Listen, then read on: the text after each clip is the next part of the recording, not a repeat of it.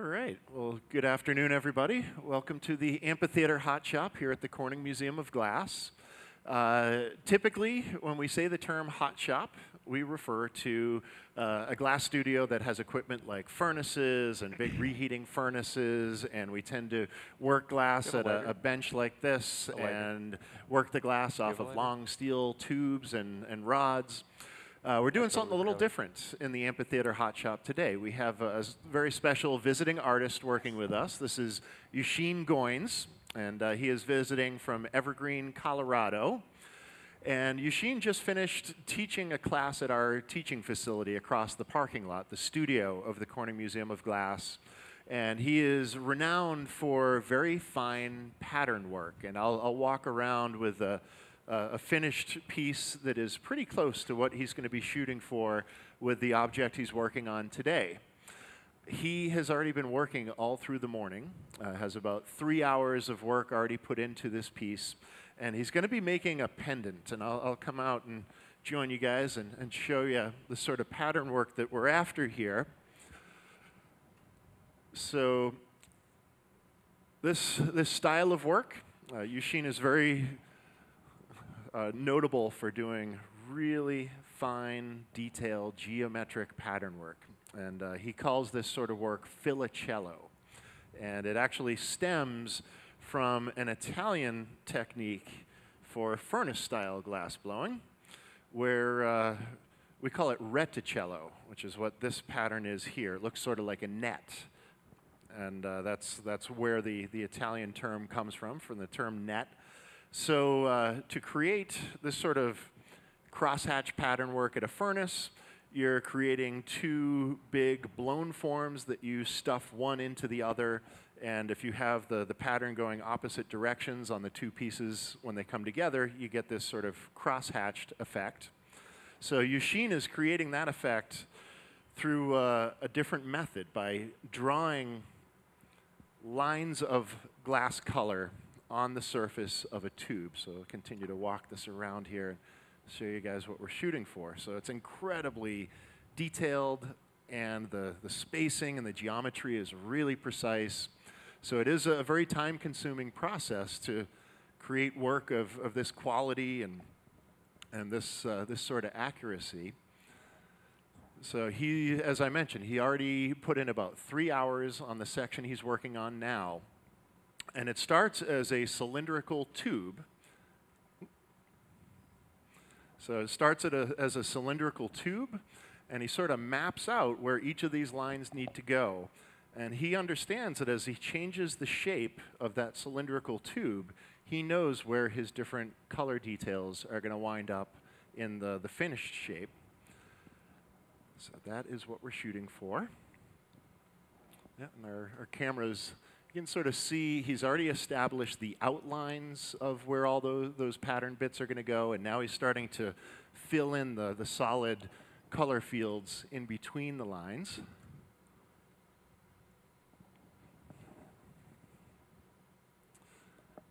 So uh, we, we put a mic on Eusheen, so you can talk with us a little bit. Maybe we'll. I'm here. Uh, yes. Can you hear me good? Yep. Absolutely. Awesome. Nice. So you want to tell us a little bit of the background of how you started to develop work like this, Eusheen?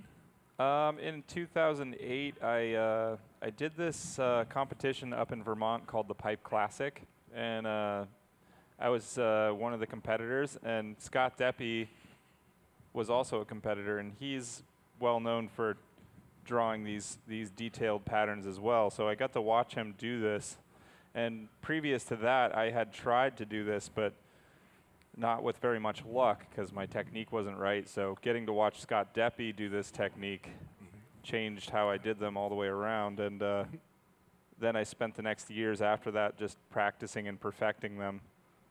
And I guess I've been doing this technique now for about, I guess, 10 years.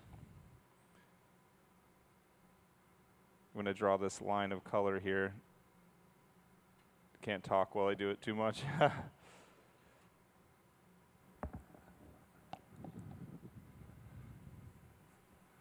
I'm kind of like pressing the color into place after I after I put it on. It's a very delicate process laying these lines. They're very small. The small stringers uh, on this that I drew all morning are about maybe a half a millimeter in diameter or less. Small enough that you could fit them in a mechanical pencil if you wanted to, which I actually know some some uh, people that do that. Um, guy that goes by Punty, he he draws a lot of like Mario themed work, and uh, he draws very very small stringers, 0.4 or something like that, of a millimeter, and he uses a mechanical pencil. He loads them all in there, and kind of has like five mechanical pencils with the stringers loaded in, and then he draws with them. He gets the ones with the metal tips so that it doesn't melt. So what are what are some of the challenges that you're working around? You mentioned how you have to place the color very accurately. What, what could I, I hate to bring this up, but what could potentially go wrong, and, and what are you doing to avoid that?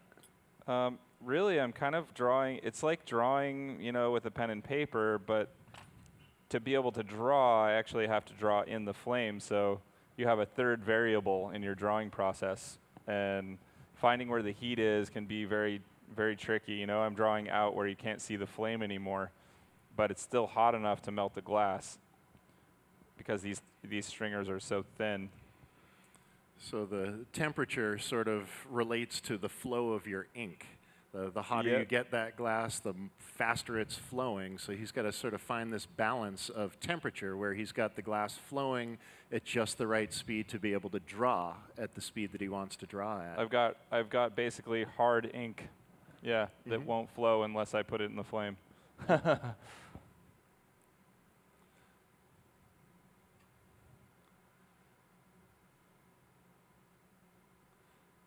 so do you draw much with? You know, honestly, I do not draw at all, and I don't draw these patterns on paper before I do them.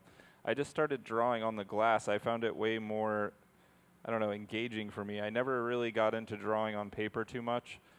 As the years have progressed, I've started to draw designs a little bit on paper, but not the not these patterns. I don't draw these on paper, but I draw like you know different blown forms. I'll draw the shapes out beforehand, uh, just to kind of get you know the concept out and try and figure out exactly how I want to shape something. But that's with hollow shaping. With this, I don't draw these out. I do all my experimenting on the glass. If I draw one and I don't like it, I throw it away. Which y- you don't want to do that, but sometimes you do. Yep.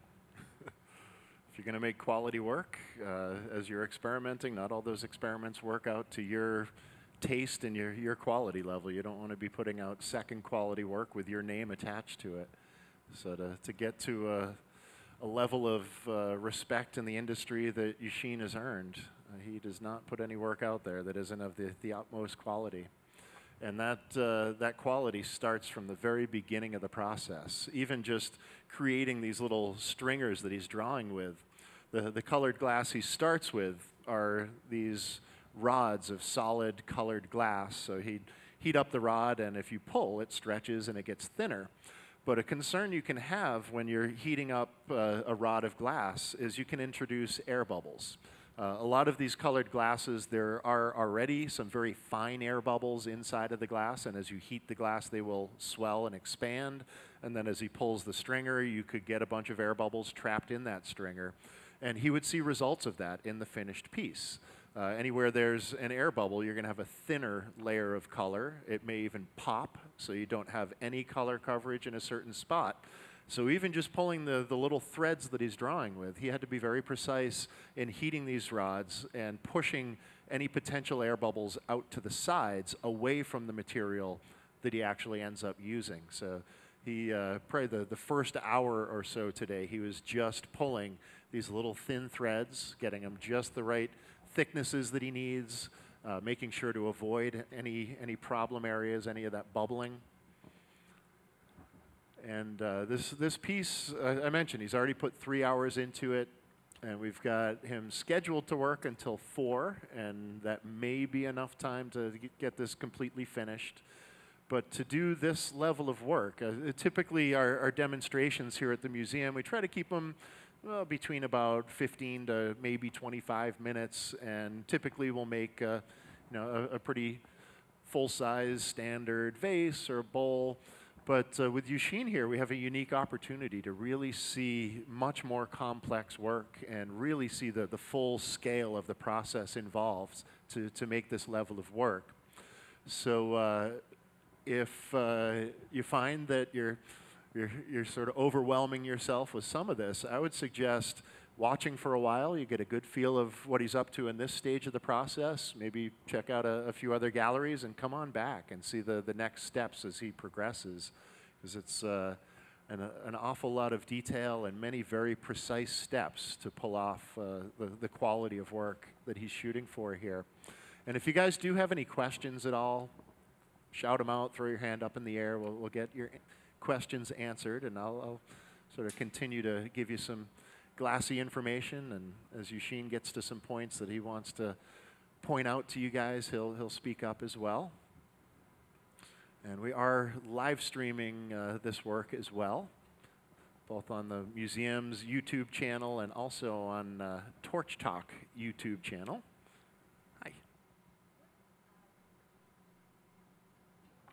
Oh, We have a, a question So- from our live stream as to what torch Eusheen is using. This is a Herbert Arnold 40 mil uh, Zenit burner, and I prefer this torch for this technique just because I can I can go from a large heating flame like this, where I can reheat, down to a small flame very quickly.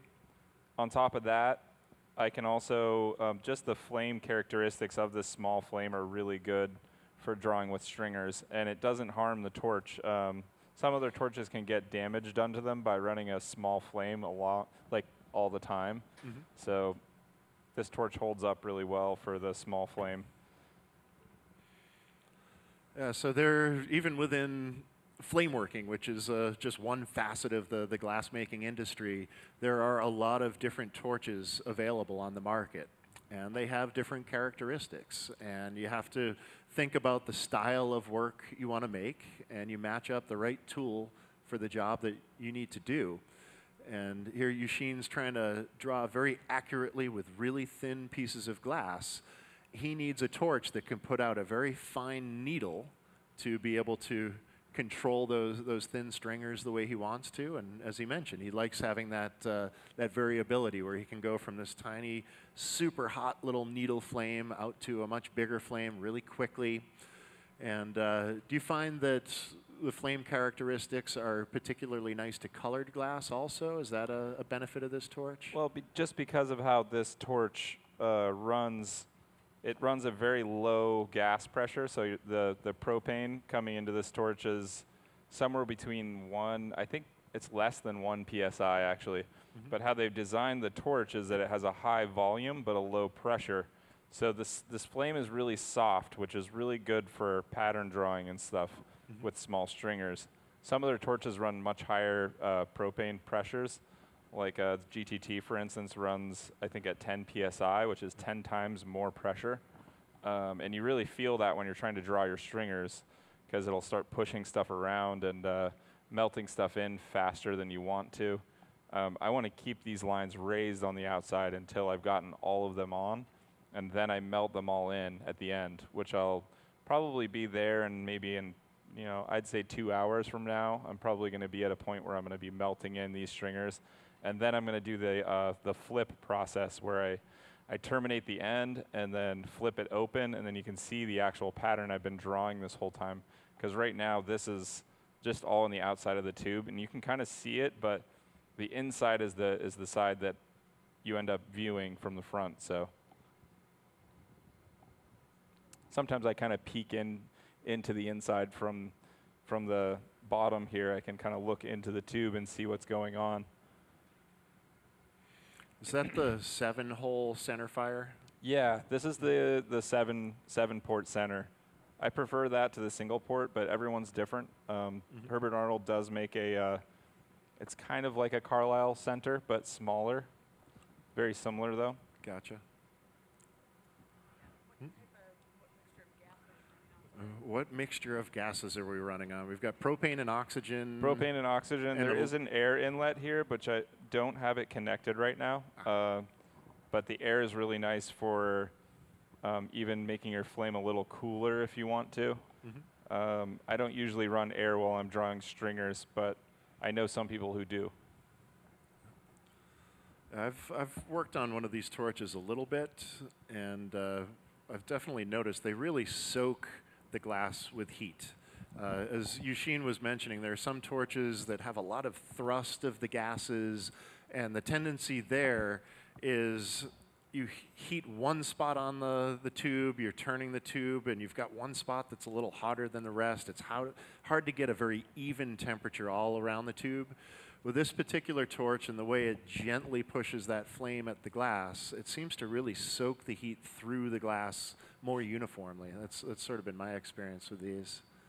It's just a, a nice, gentle flame. It's not forcing the glass around at all. The, the heat has a chance to really soak into the glass. And uh, as, you, as you work with the material this, this intimately, every little factor, every little bit of your tooling and your, your colored glass, your gas pressures, your body position, your hand positions, everything matters. Oh, more questions from the live stream? What do we got? You're asking me a few technical bits for me. Do you ever do solid work on the Zenit, or is the preference for hollow work? Do you ever do solid work on the Zenit, or do you just prefer it for oh, hollow definitely. work? Um, it's a great torch for making marbles, um, and I've I actually spent quite a few years making marbles. Um, 2011 to 2013, I made mostly marbles, Mhm. more than any other object, and um, this torch was what I was working on most of the time. Unless the marble got to a bigger size, then I would go to the GTT torch just because it has a little more heat. Mhm.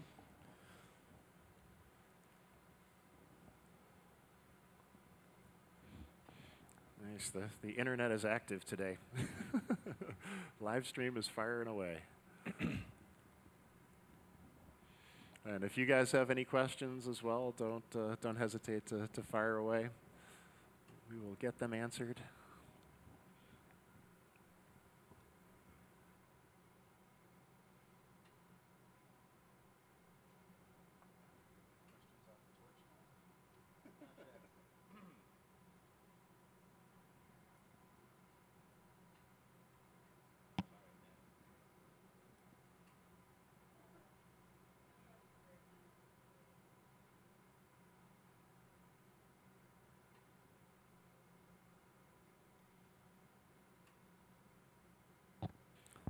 So we'll let, oh, we got a question over here. What do you got?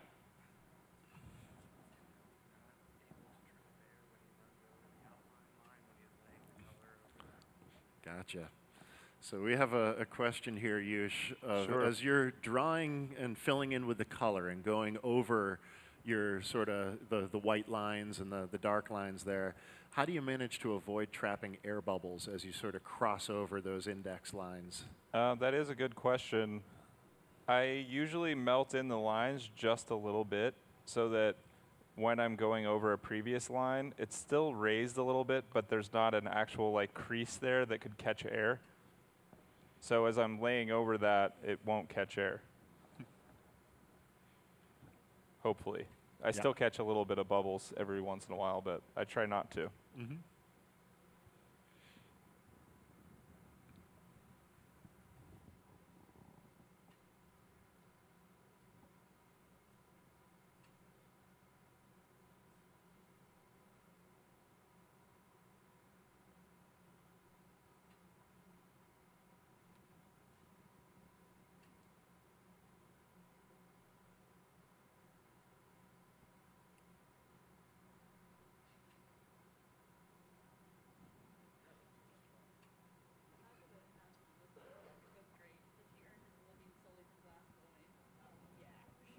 Yeah, yeah, I do make my living from glass blowing. That is all I do. Literally all I do. No. Question from the torch stalkers. What color is the yellow? uh, the yellow is, I believe, just yellow uh, canary, I think, from from North Star, and then this I think is goldenrod. They're pretty close to the same, but one's a little darker.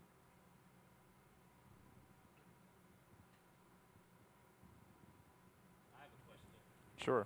Do you prefer the North Star CADs or the newer Glass Alchemy CADs for this process that are a little more watered down or whatever? Uh, because of the reformulation with the with the alchemy ones, they kind of thinned them out a little bit. I prefer more opaque, so right now North Star is the way to go for me. Yep.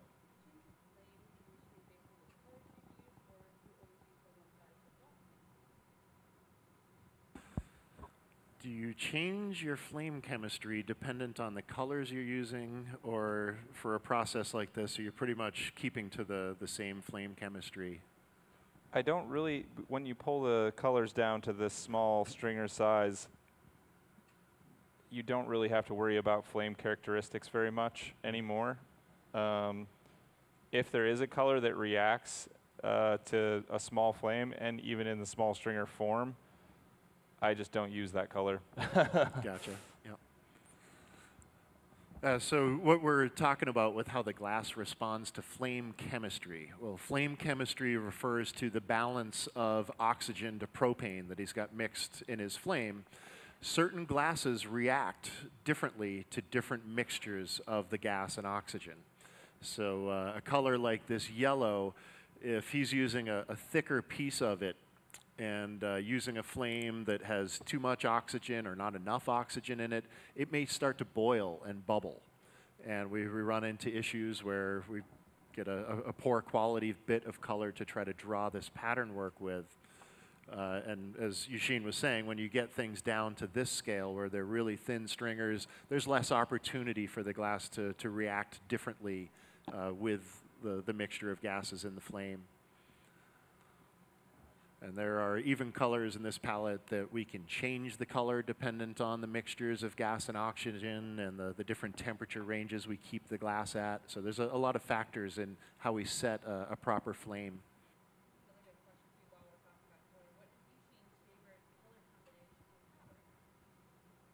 What is your favorite color combination or pattern? Hmm, that is a good question. I've done so many different patterns and so many different color combinations. Lately, I've been going for more of like the rainbow ones, Mhm. just because I like the full range of color.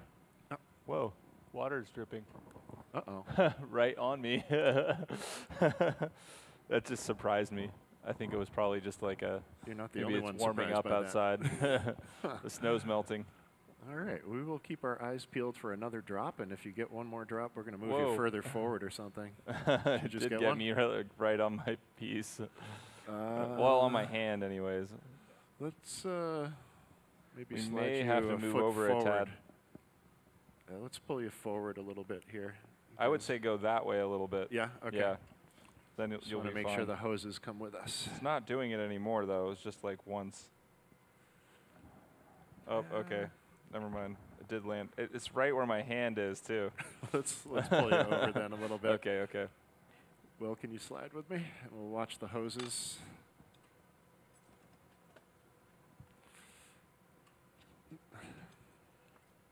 Are those hoses still slacked under you there?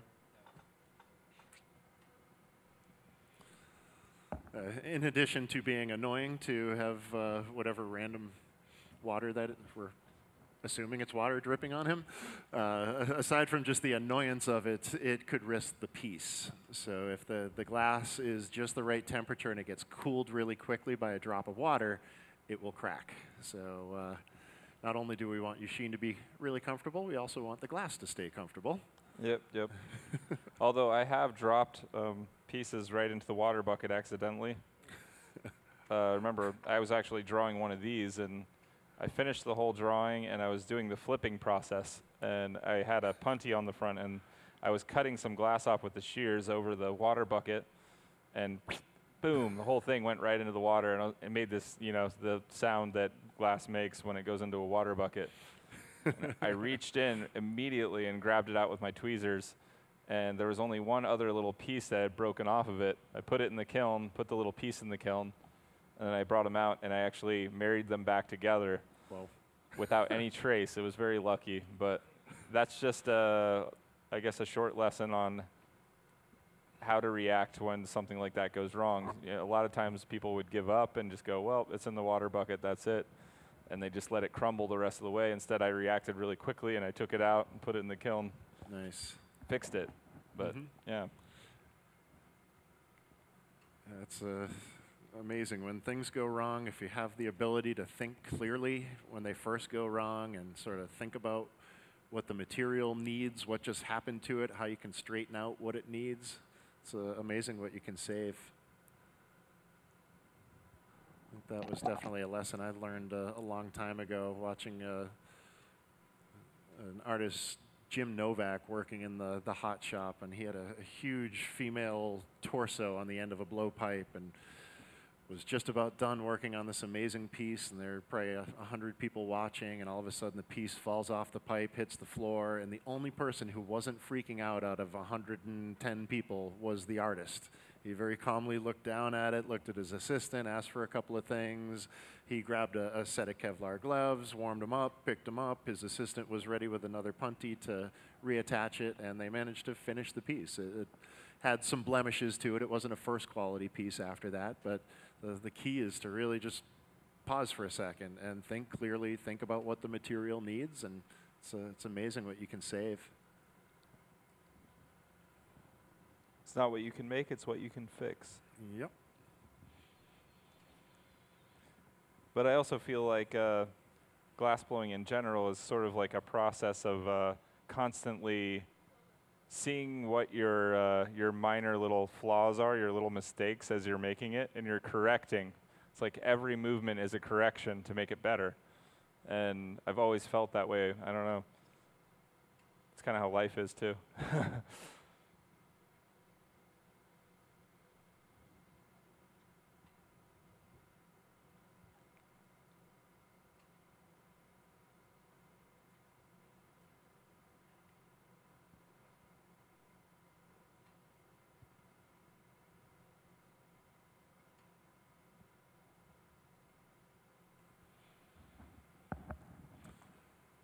Okay, so now I've got yellow and orange. This is a really light orange. But I do have yellow and orange on there. And I'm going to do red next. So I'm kind of doing a fire fade on these X's that are going around the edge here. Kind of see it on the monitors. And as Eusheen is uh, mentioning what colors are on there, they might look a little different right now. Uh, when colored glass is hot, it often looks a bit different than it will when it's completely cooled down. And you'll, you'll notice that as he's working as well, he might pick up a stringer that looks yellow when he picks it up, but as he's working, it's a really bright glowing orange, and then as it cools, it loses that glow from the heat, but it still looks orangey as it cools completely, it comes all the way back to yellow. So just different temperatures, different colored glasses have a, a different appearance. Yeah, the cadmium in this uh, in these red, yellows, and oranges is actually what changes color while it's hot, and um, it's kind of a good indicator for boro in general. Just because when the color starts to go back to normal, that means that's time for me to reheat, and it's kind of a, it's a great indicator because it keeps your piece from cracking. If, this gets too cold, it will just. They, it happens sometimes. I'll have little cracks happen. I can usually fix them and then continue working.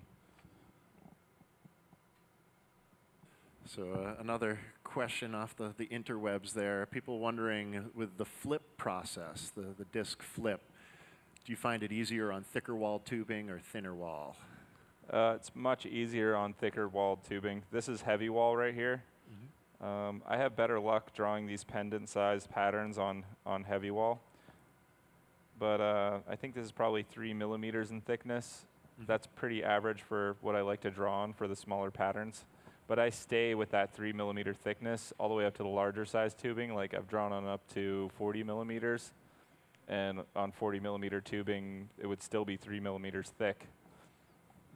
I think that would technically be called medium wall. So it's just a larger diameter tube, but it looks thinner. It's just just a larger diameter tube. So when you first started doing these Fillacello patterns, did you start on simpler patterns than what you've got going here, or did you dive right into this level of complexity? I definitely did simpler, much much simpler. Mm-hmm. When I first started, I would kind of just do six lines diagonal and then six lines back the other the other way, and create you know 16. It was just 16 lines, really simple. And I would fill each panel in with uh, with one color. I wouldn't be doing all this extra, you know, black and white, you know, crisscrossing and stuff.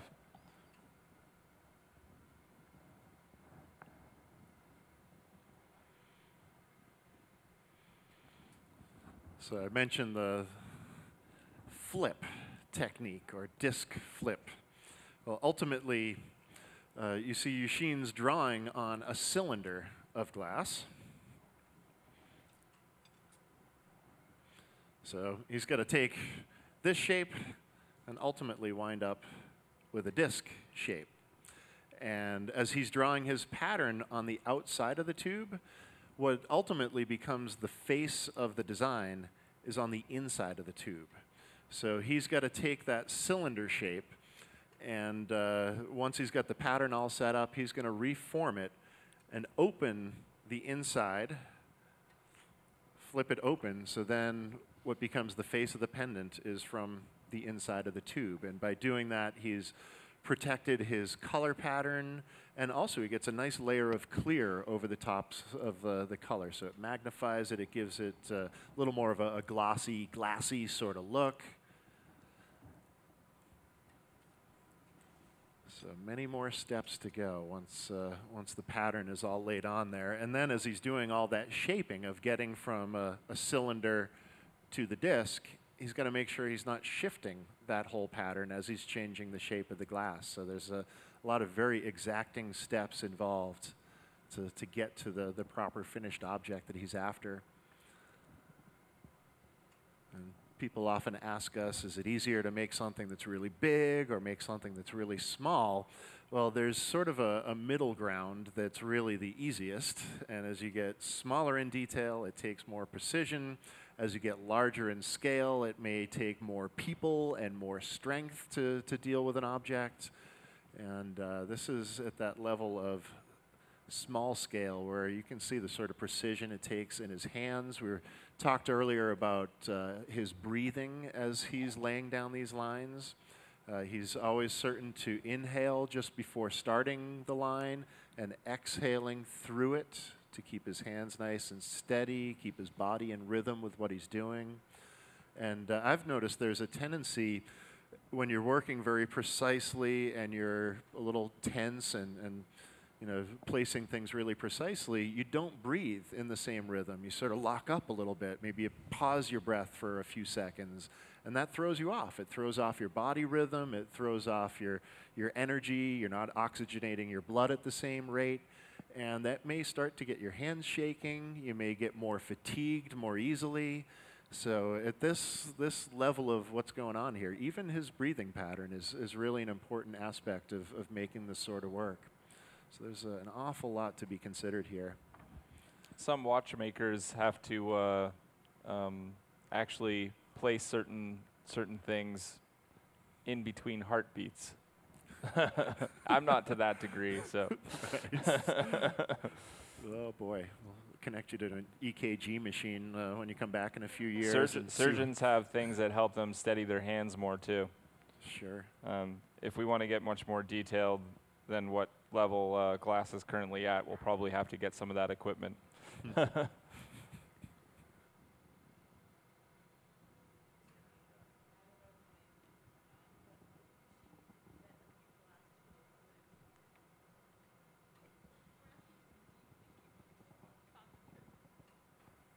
Here's one for you. if you could dream up a new glass tool, what would it be and uh, what sort of work would it do for you?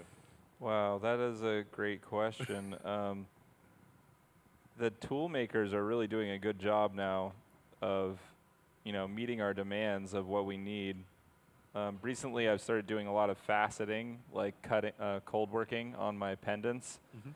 And uh, some other parts of some of the pieces I make. And uh, this new faceter I got was made by Ultra Tec, which is a gemstone company. They make they make faceters designed to cut gemstones. But now they made a faceter designed to work with glass. It's designed only for glass. and they started a new company called Glass Tech to um, sell those new those new machines. And I bought one of them, and it had a whole bunch of things that made it a little bit easier to use for a for a glass maker as opposed to someone working with gemstones. So a lot of that is happening in tool world in glass, and um, tools are. It seems like a new tool is getting made every day almost. Uh, so so far so good, but I mean, like I said, if if we want to get much more detailed with these stringers, we might have to develop some kind of something to make that happen. Um, whether it be wearing uh, maybe some magnifying glasses or something like that that like surgeons wear when they're doing like highly detailed work, or I don't know, maybe uh, maybe a more precise flame, something that's even sharper, or something I don't know. yeah, it's it's hard to say. We'll see where it goes, but I know that um, the detail level I'm at now is I'm not even the top of the food chain as far as detail level goes. There's other guys doing smaller stringers. Um, actually, a young fellow in one of my classes who was Any- doing anybody the in the smallest stringers I've ever seen. He's here, here? actually. He's right here in the audience. this guy. Yeah, he goes by Frompy Glass on uh, Frompy on Instagram. If you guys want to see his his detail, but he makes uh, one of these patterns, but eight millimeters in diameter. So, imagine the size stringer. He said that his beard hair is thicker than the stringer that he uses. That gives you an idea. 0.06 millimeters. So I'm using 0.05, or I'm, I'm, I'm using 0.5. He's using 0.06. So 10 times smaller stringer to make these little teeny, teeny little patterns. You have to pretty much take out a magnifying glass to look at. Pretty fantastic.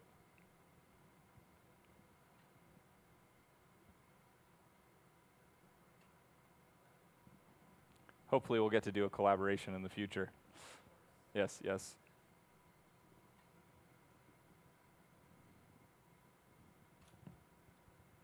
Yeah, one of the pendants that he made, he made a, a Fillacello pendant, and then the bail itself, he made a little mini Fillacello that was a part of the bail for the loop on the top, and it was a. I thought it was a milli, and then I looked closer, and I was like, "Oh my gosh, he drew those." That's Do you- detail. Do you have one on you? We'll, uh, we'll see if the camera can pick up both of them next to each other. It's pretty crazy. My eyes don't work well enough to even consider this kind of work, let alone what my hands would do or not. I bet. Yeah, you're gonna need a magnifying glass. Uh, it's insane. let's see what the camera can pick up. If, uh, Yeah, there you go. the scale difference. It is literally the size of you, a of uh, a milli chip. Can we pick these up down here? Yeah, yeah, maybe get in there. See if you can get it. I don't know. Maybe if I hold it up a little bit. Uh, maybe we'll walk this around. Yeah, I, I can't even hold it steady enough for the camera. So we'll do another little lap around here and show you guys what we got.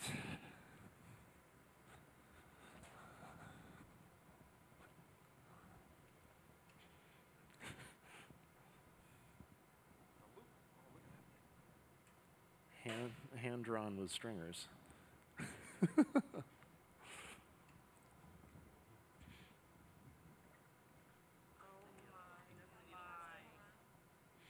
Uh, I'll, I'll walk them around. Thanks. Yeah. Uh-huh. My, hands are sweating. Yeah. so what's crazy is that pattern, that little teeny eight millimeter disc that he made, takes I'll the have to excuse same amount of time, or maybe there. a little bit less than what I'm drawing right now. So just because it's smaller doesn't mean it takes less time. It takes maybe even takes more time because he's drawing less lines. Uh, pretty crazy. you guys have seen these, right?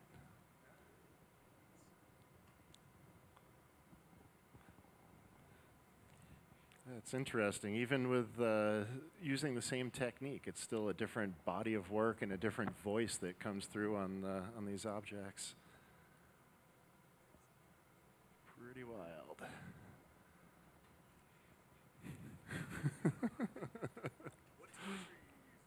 so if you want to see his work, it's, uh, it's Frompy on Instagram, Frompy. Check that out. It's, it's really amazing stuff.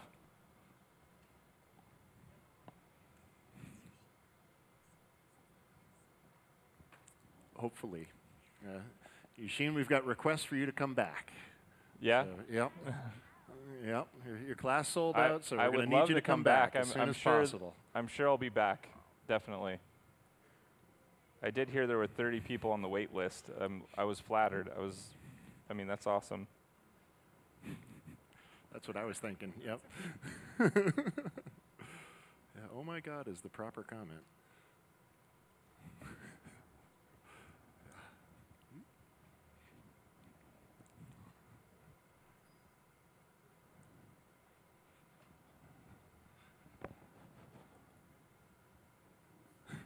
right. Placing little thin lines of glass on there.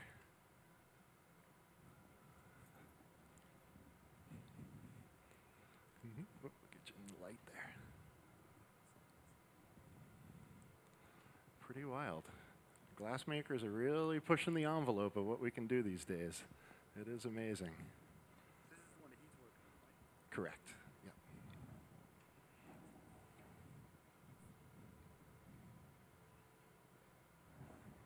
Yeah.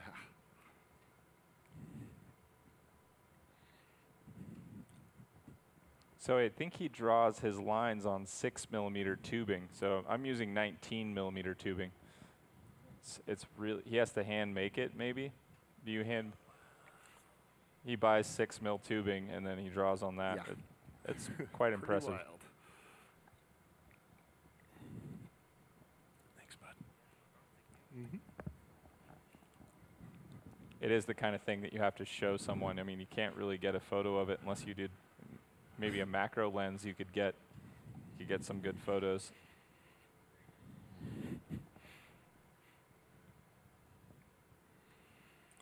I'd be curious to connect you with our photographers here at the museum and see what they go through to try to shoot something like that. That'd be interesting. Yeah. And you did that one in the class, right? Yeah. That's awesome. Can even perform at that level in an away game, huh? Not bad. it's interesting. You, you get used to your own studio, your own comfort zone that you've set up, and then you, you go to a, a place like this where we sort of stick you in the middle of a floor with some random table, or go to our, our studio classroom, which is fantastic, but it's not set up the same way your home studio is, and it's not, not always so easy to, to make that, that same quality of meal when you're in somebody else's kitchen. And uh, it's, it's similar with, uh, with glassworking. It, it takes a little bit to adapt to your surroundings. But uh, the sign of true mastery is really being able to make the same quality of work no matter where you are, whatever sort of tools people handle or hand you. So I'm trying to decide what how I'm going to color the rest of this pattern. I just finished the red, so I've got yellow, orange, and red. And I did plan on using this lapis color. It's like a lapis blue. It's kind of between blue and purple. It's a really nice color though. So I was going to do highlights of that. I think that's all I had pulled, but I might want to add some green in. That would give it more of a rainbow look.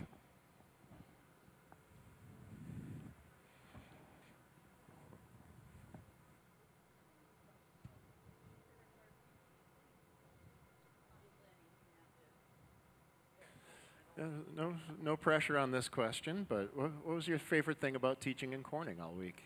Um, just the uh, the students. They were very enthu- enthusiastic and stoked to be there, and they put their really good energy all the way around. And then also having Corning. I mean, having this, you know, the museum right here, being able to go on these tours.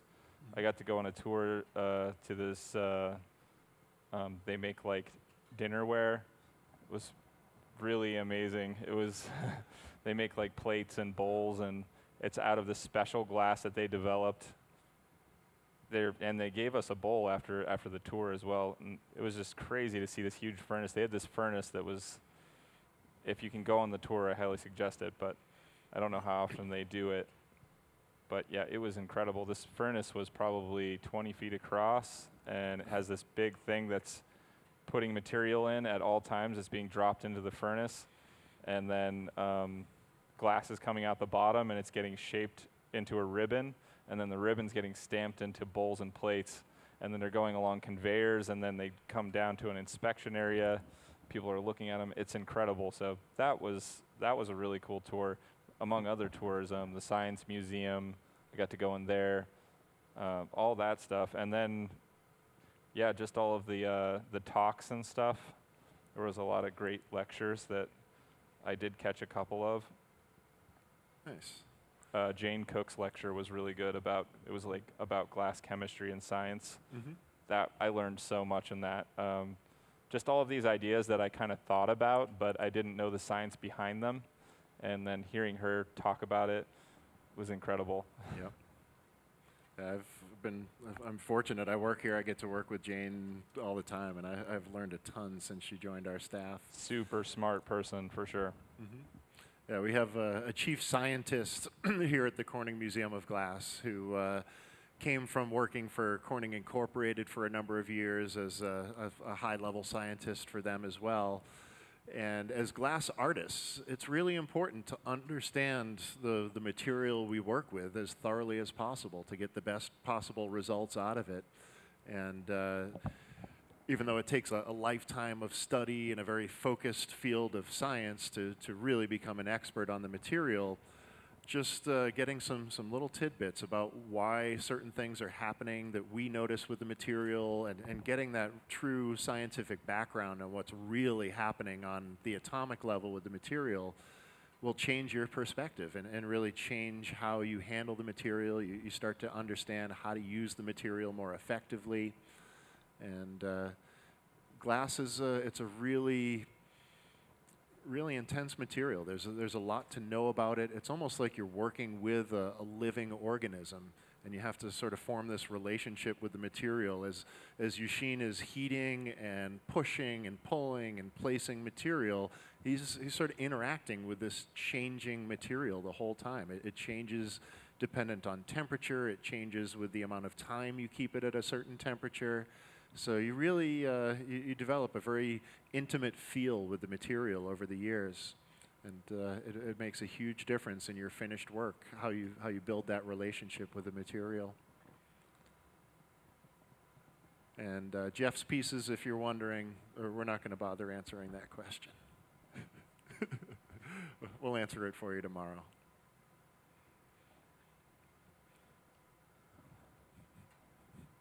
Think I decided on a I decided on a pattern or a way to lay the uh, the rest of this out. It's going to take a little bit, but it's it'll look really nice. Because now I have to fill each one of these little teeny diamonds in with with color, and it's just tedious. Not quite as tedious as drawing the lines, though. Drawing the lines is takes you know I guess I spent an hour pulling stringers and two hours drawing just the, the black and the white lines.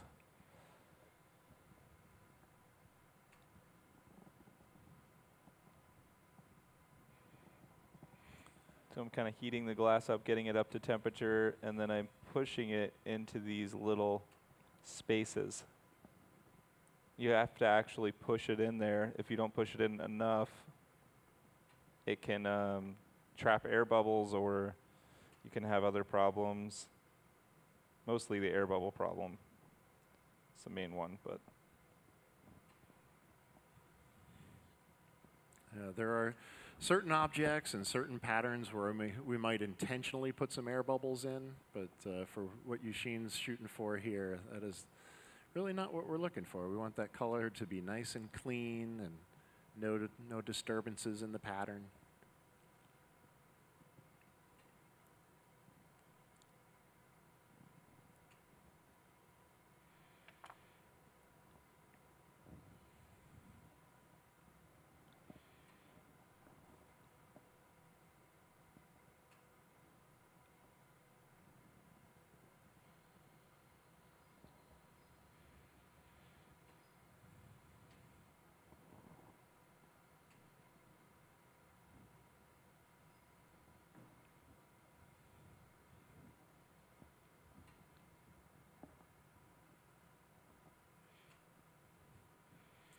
It's like the meditation zone in here today. Seems like a good environment for this work. Yeah, that hum of the furnace really does help. Actually, I don't even need music. This is and this is one of the quietest glass shops you will ever walk into, and especially for the scale of it, for our, our massive furnaces and the amount of ventilation we have going on here. It's uh, pretty comfortable and quiet. So, for those of you who are, are just now joining us, uh, welcome to the Amphitheater Hot Shop. And uh, typically, in a hot shop, uh, we are referring to equipment like the big furnaces that you see back here against the wall. Well, today and tomorrow we have a, a bit of a special program going on. We are very fortunate to have a, a very talented artist joining us. This is Eusheen Goines, and uh, he's visiting from Colorado. He spent uh, this past week teaching a class at our teaching facility across the parking lot, the studio of the Corning Museum of Glass. And uh, we've got him for a couple of days in the amphitheater here to demonstrate his work and uh, show us all the, uh, all the efforts that, that go into making the objects that, that he focuses on. And he is working on a, a highly detailed pendant. And he's been working on this same object since 9 this morning. Uh, we were nice enough to give him a few minutes to eat some lunch, and then he's been digging right back into the same piece again and uh, making extremely detailed pattern work that uh, really takes a full day of work to finish an object this size. And uh, we'll, we'll walk up there and I'll show you guys the, the pattern that we're shooting for here.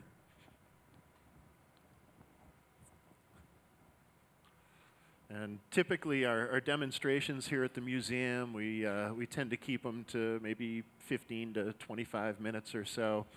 But uh, it's nice to take an opportunity to really show the full scope of what goes into a more complex object. So we can show you with a, a, little more accuracy the, how complex glass can be. Yeah, and it's really not about scale. Uh, larger objects could take more time, but oftentimes smaller, more detailed objects take uh, a whole lot of time.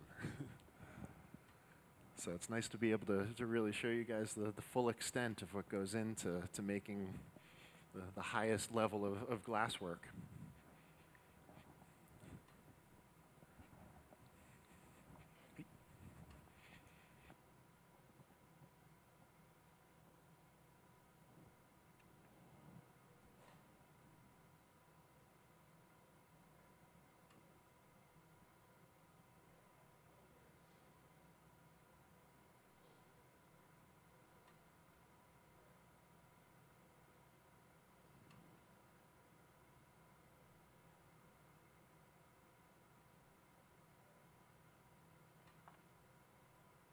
Ah, okay. Another, another good question for you, Yush. All right. Uh, how do you keep those temperamental cadmium colors from boiling as you're drawing with stringers? Well, that is a good question. Um, it starts with the pulling process. I use a really soft flame, really soft heat, and I do a what's called a bubble-free stringer technique, which I did not explain when I was pulling stringers this morning, but it basically consists of nipping a small piece of color off the end of a rod, and then you punty up to it, and you melt it from the punty side to the other end slowly, and it melts the air out of out of the rod, and then you pull that into a stringer, and you end up with a small stringer, but it's it's good enough size, you know, a nice stringer without air bubbles, and so you know they are boily even without air bubbles, the the cadmium colors, but uh, if you take the air out, it does make them a little bit uh, more friendly to work with. So I do that, and then um, when I'm drawing the lines, the the flame is so soft and small that it doesn't generally cause any bubbling. But sometimes it does. Like sometimes I'll put, uh, you know, a red crayon or, yeah, cadmium color into the into the flame, and I'll see it boil up a little bit. I'll just go ahead and nip that off the end and start with a fresh tip to start over again. uh, if you use too hot of a flame, they will boil. So you do have to be really, it's a super small, super soft flame, very gentle. You just want to get the glass hot enough to push into place. You don't want to get it too hot. So it's kind of hard to do with the small flame, though. Honestly, the, the small flame treats the cadmium colors really well. Uh, so your your prevention of boiling starts from the very beginning of process. Straight- Exactly. Straight from pulling the stringer right through applying the stringer. Exactly, yeah. So we had a, another question come in off the, the interwebs. Somebody wondering what it would cost to set up a, a flame working setup. And uh, I'll, I'll sort of dive into that one. Uh, it really depends on the level of equipment you're looking for, but setting up a, a flame working studio is probably one of the least expensive ways to get set up and work with molten glass. Uh, you can get a torch for as cheap as oh, a little over a hundred bucks, or you could spend a few thousand on a torch. Uh, you would certainly need uh, some regulators, some gas lines. You would want an annealing oven that's going to cost you anywhere from maybe $500 to a few thousand, depending on the, the size and precision you need from that oven. So uh, you really can get set up and, and get flame working for anywhere from about a thousand dollars to a, a few thousand dollars. It's a, a pretty accessible form of, of working glass. Now, to set up furnaces and, and things like what we've got going here, people often look at the price tag on the front end. When you buy a furnace, it may cost you $25,000, $30,000, and that's just the beginning of the expense. Once you light that furnace, you've got to keep it on. And uh, our, our furnace, even though we're not even going to pull any glass out of there for the next day or so, we're going to keep it on the whole time and keep that glass molten. Because if we cool it down, uh, we risk starting to crack some of the bricks of the furnace if they cool too quickly. Or if we need to heat it back up, it takes a few days to warm the whole furnace back up properly. So it's actually more efficient and safer for us just to leave the furnace on. So uh, once you get that furnace going, it's a constant expense. One of the benefits to the torch, when you shut that torch off, you're not not, not spending any money on gases anymore. So there's uh, another financial advantage there.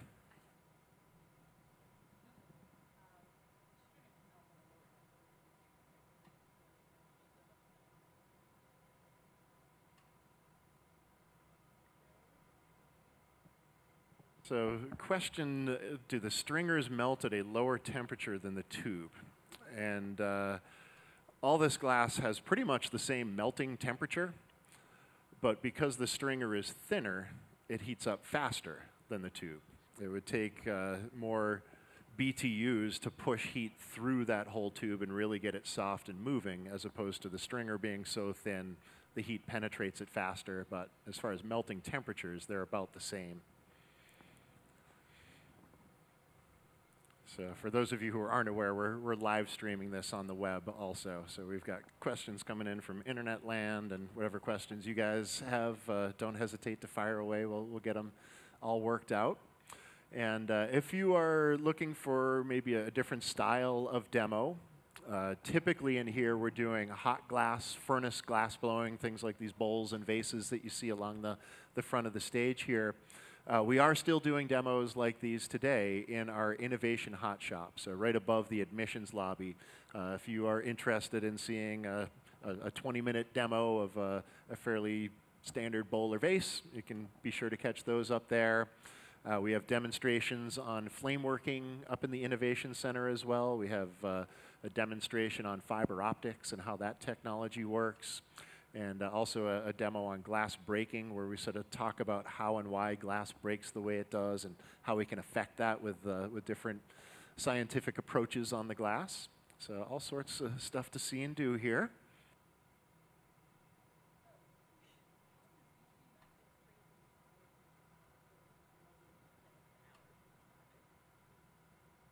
How does Eusheen not go crazy when he's working on this level of detail all the time? Seems like that's your meditative space yeah, anyway. I mean, this, it is. It's, like, it's like a meditation. I mean, that's how you have to look at it. Mhm. Um, I do have to be in the right mindset to do this kind of work. Sometimes I just don't feel like it. I'll sit down to draw one of these and I just won't be in the right mind state. I guess uh, the more you do them, the more you can get into that zone and, and draw with small stringers. Um, but I find that it does take a couple of patterns before you're really in the zone. Uh, the first one is always going to be rusty, and you're going to have some lines that go the wrong way. Next one gets a little bit better, and a little bit better, and so on.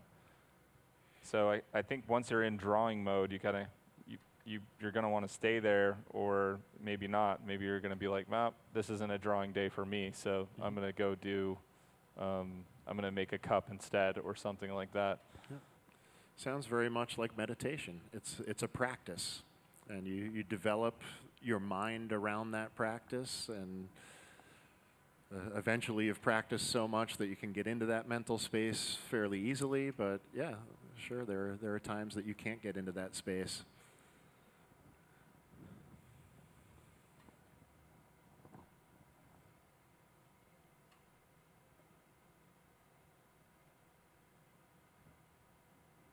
once you're in the zone with this, it's it just does itself. You're just kind of going with the flow. But yeah, at first it can be I don't know, that kind of goes with any kind of uh, glass work though. Sometimes your your first pieces are rusty and kind of not quite in the zone. The more you just stay on it, the more you fall into the zone and you get into it.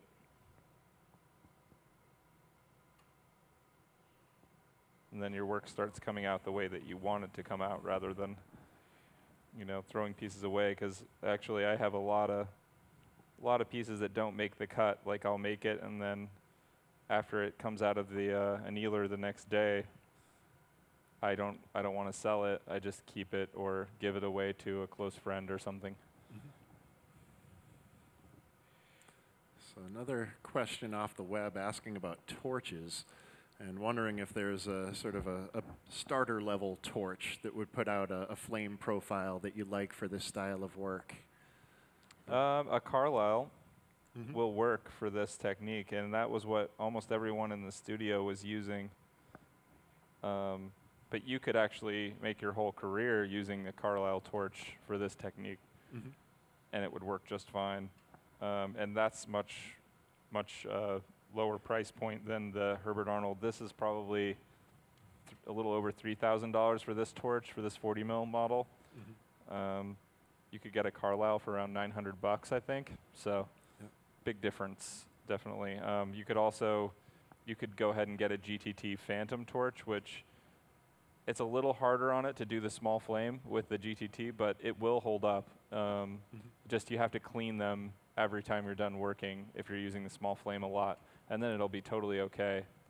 They, they Um, build up a lot of carbon. Is that I yeah, they do get that a little bit. Even I mean the the Arnold torch does get some some carbon that you have to scrape off the end of the torch, and you'll actually notice that with the small flame on the GTT as well.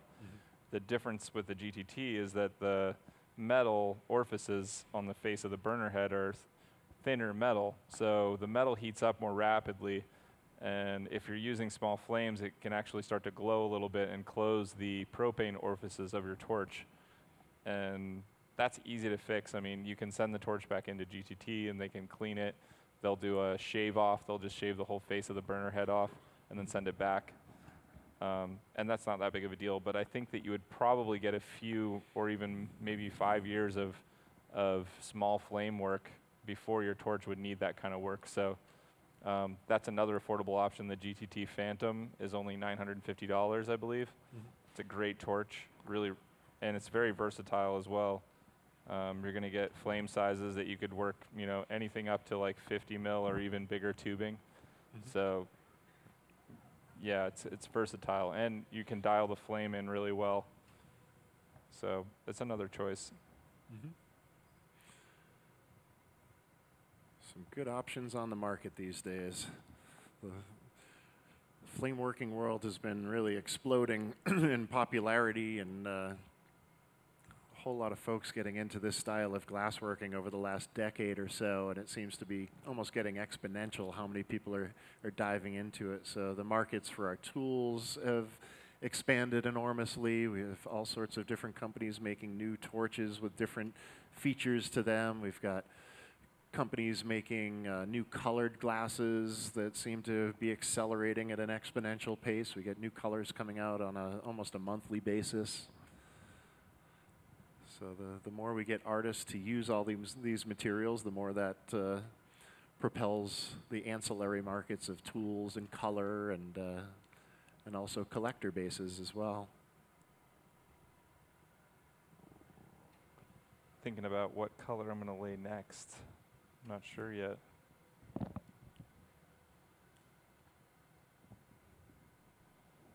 I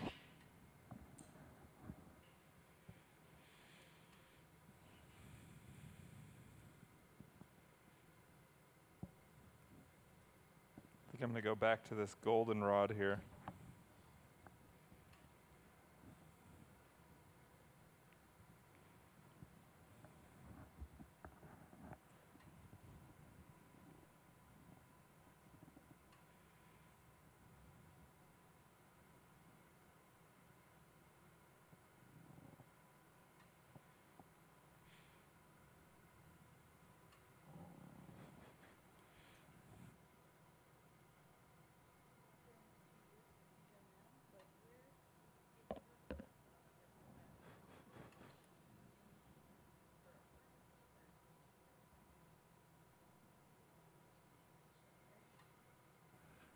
Another question off of the web Where do you get your glass? Um, I've been buying my glass from D&L Art Supply in Denver lately. Um, they carry Simax. That's what I've been using. Uh, Simax Clear, and they had a lot of different color rod. I get a lot of my color from Glass Alchemy. Mhm. I'm on their Gamma program. Um, I just once you buy a certain amount of color per year, they um, add your points up and then put you on this Gamma list, basically. I use a lot of color, so that's been nice to be on there. Um, I get color directly from North Star as well. But when I just need like, you know, maybe a couple rods of color or something like that, I'll go down to D&L. They have a lot of stuff. I live in Denver, Denver area. I live in Evergreen. It's about 40 minutes west of Denver on the I-70, so it's about a 40-minute drive for me to get down there and get some color. It's a nice option to have. Yeah, Mo- yeah, most it is nice to uh, hand pick your color mhm. because sometimes you'll order something and it'll come and it'll just be riddled with bubbles or something like that. So I prefer to look through it.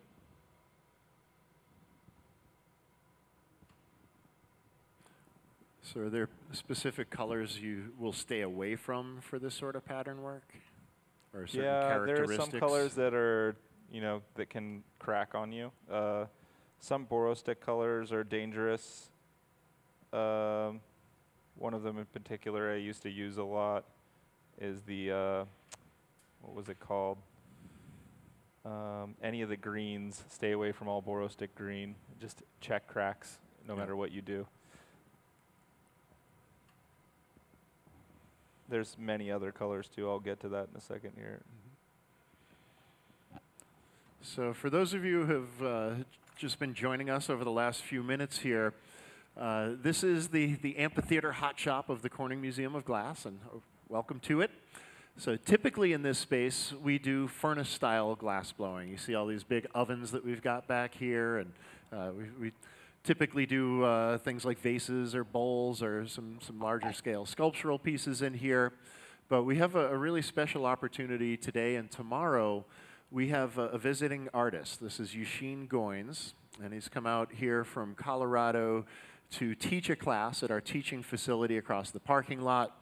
And uh, he's also sticking around for a couple extra days now that the class is finished to uh, show some of his, his skills and his process for our, our audiences here. So we have a, a really unique opportunity to see some very advanced glassmaking happening right here in the amphitheater. We have another.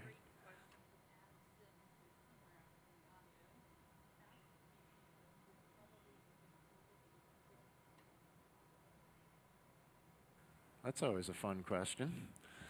What would Eusheen be doing for a living if he weren't making glass? Well, uh, that's pretty easy to answer. Before I got into glassblowing, I did construction work. Um, mostly, I was like uh, I was basically just a worker guy that, you know, they'd say, hey, go pick up those two sheets of plywood, and I would go get them. or I'd be like up on the roof, up high, where other other guys, you know, the main guys didn't want to go up there, and they'd they'd be having me do stuff up there. Um, I worked on roofs a lot. Um, they always said if you fall off the roof, you're fired before you hit you hit the ground. One day I actually fell off. I jumped off though because I was gonna fall, and I landed on my feet because I'm a skateboarder and did a little roll thing. And I'm like, I'm okay. I didn't get hurt. Don't fire me. but shortly after that, uh, yeah, uh, glass glass came came in as an idea. I had a friend who he uh, got into glass. I went to high school with him, and uh, he moved to LA, and then he moved back to Oregon, and then that was why he moved back to Oregon was to try glass blowing. Um, his name is Mike Luna. Um, he lives in Southern Oregon. He does like dragons, and um, he's really good at sculpting. And when we were younger in school, he was really good at drawing, and he did a lot of like graffiti style art, which I kind of feel like I'm influenced by graffiti art quite a bit. Um, but yeah, I got to watch him work for about a year, off and on, maybe like once a week for once a, once every other week, maybe. And uh, after watching him a few times, I tried glass blowing one day, and it just blew my mind. I, I was like, why didn't I try this sooner? He was trying to get me to try it. I'd come into the studio, I'd be, I'd be asking him all these questions, and he'd be like, go over there and just jump on that torch over there and try just melt some glass. And I was like, I don't want to. I don't want to do it. You know, I didn't want to do it. Finally got on there. It was like yeah, it was just electric energy. It was just like, oh, I got to do this, and I just didn't stop. Just kept doing it. I ended up uh, quitting my job. I was working at a smoke shop in Southern Oregon. Quit my job on that, and then just spent all my time at the studio, pretty much 15 to 18 to 20 hours a day. Even I mean, I I lived in the studio. I lived up above it in this little teeny studio apartment with five other five other artists.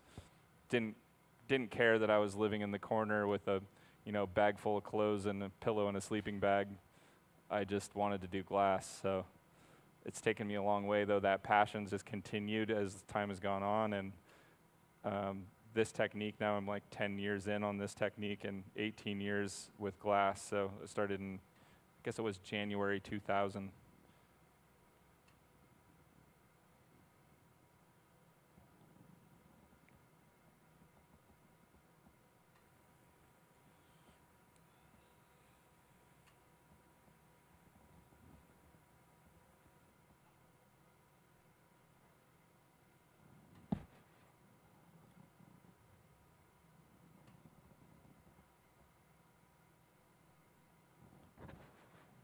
Kind of like blowing on each one after I draw the line because it cools a little bit faster, and then I can wiggle and snap off the stringer.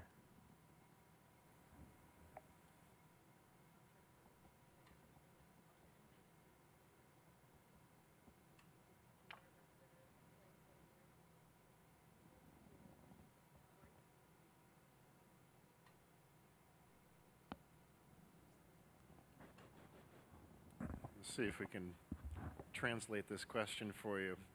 Uh, does he melt and whip off some colors? And some colors he sticks and then wiggles and breaks the stringer. So, like, Uh, um, is there a difference in color? The reason why I do that? Yeah, are there some that you snap as opposed to melt apart? Um, sometimes I do melt them apart. Um, when I'm filling an individual little teeny diamond space with one color, I'll do I'll just dab the color in there and and pull out because I want to actually leave I want to leave enough color there. If I were to wiggle snap after sticking one filling one little individual space, um, it could pull too much color out as I wiggle and snap and pull away. So I like to I like to just dab a little bit of color in those small spaces, but it doesn't matter which color I'm using um, as far as the uh, whether I wiggle snap or pull the color away. It just has to do with the space that I'm putting it into. Smaller spaces, I push it in there and then I leave a little bit at the tip.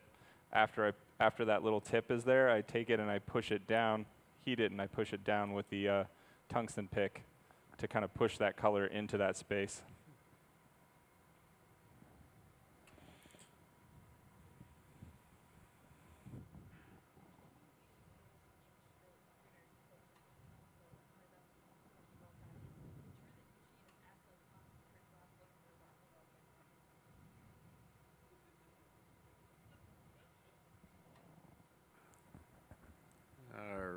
So, let's see. Okay, let's hear these. Uh, is it possible to use a gold fumed stringer for a fillacello? Yes, totally. You can use gold fumed stringers. You can use any stringer you want. Mhm. I've filled in with clear, and then you just have the clear spaces in between all the, the regular lines, and that looks actually really cool. Mhm. So with a gold fume, you'd have a light, you know, just a really light gold. Depends on how, how heavy you fumed your rod before you pulled it into a stringer. Yeah. You'd probably have to fume the rod and then coat it with clear Trap it in um, there. really lightly and then pull that into a stringer and use that. That's just a guess. I don't know. You'd have to experiment. So we're, we're throwing a lot of jargon at those of you who don't work with glass here. Uh, so gold fuming. Uh, if you take a piece of very pure gold, 99.9% purity, twen- 24 karat gold, and uh, put it in the right mixture of gases in the torch flame, uh, you will start to fume that. It, it will start to off gas, and you're actually spraying sort of gaseous uh, fumes of gold at another piece of glass that you can have further back in the flame, and you'll actually deposit some of that metal on the glass, which will give you some different color effects. And uh, a stringer are these thin pieces of glass that Eusheen is using to draw in the pattern. So it's possible to color the glass by fuming it with gold, pull it out into a thin piece, and then draw this sort of pattern work in there. So sorry for all the, the flame working jargon for those of you who are not flame workers, but uh, that's how the, how the questions are coming in here. Five. So, how much time is spent on cold work for each pendant? how much time is spent on cold work for each pendant? I'm going to guess Uh, that depends on which pendant. Well, it depends on the on the pendant and how big the pendant is, um, and what kind of cut I want to do. But on average, I'd say I spend maybe two to three hours uh, doing faceting and stuff like that on a on a cab, and then I would heat it back up and then put the loop on. So cold working refers to what it sounds like, working the glass when it's cold, when it's room temperature. We can cut it, carve it, engrave on it. And what Eusheen's referring to with faceting is uh, sort of creating flat geometric sides, like faceting a, a gemstone sort of an effect. So we can do that with glass as well. And what else do you have for questions here?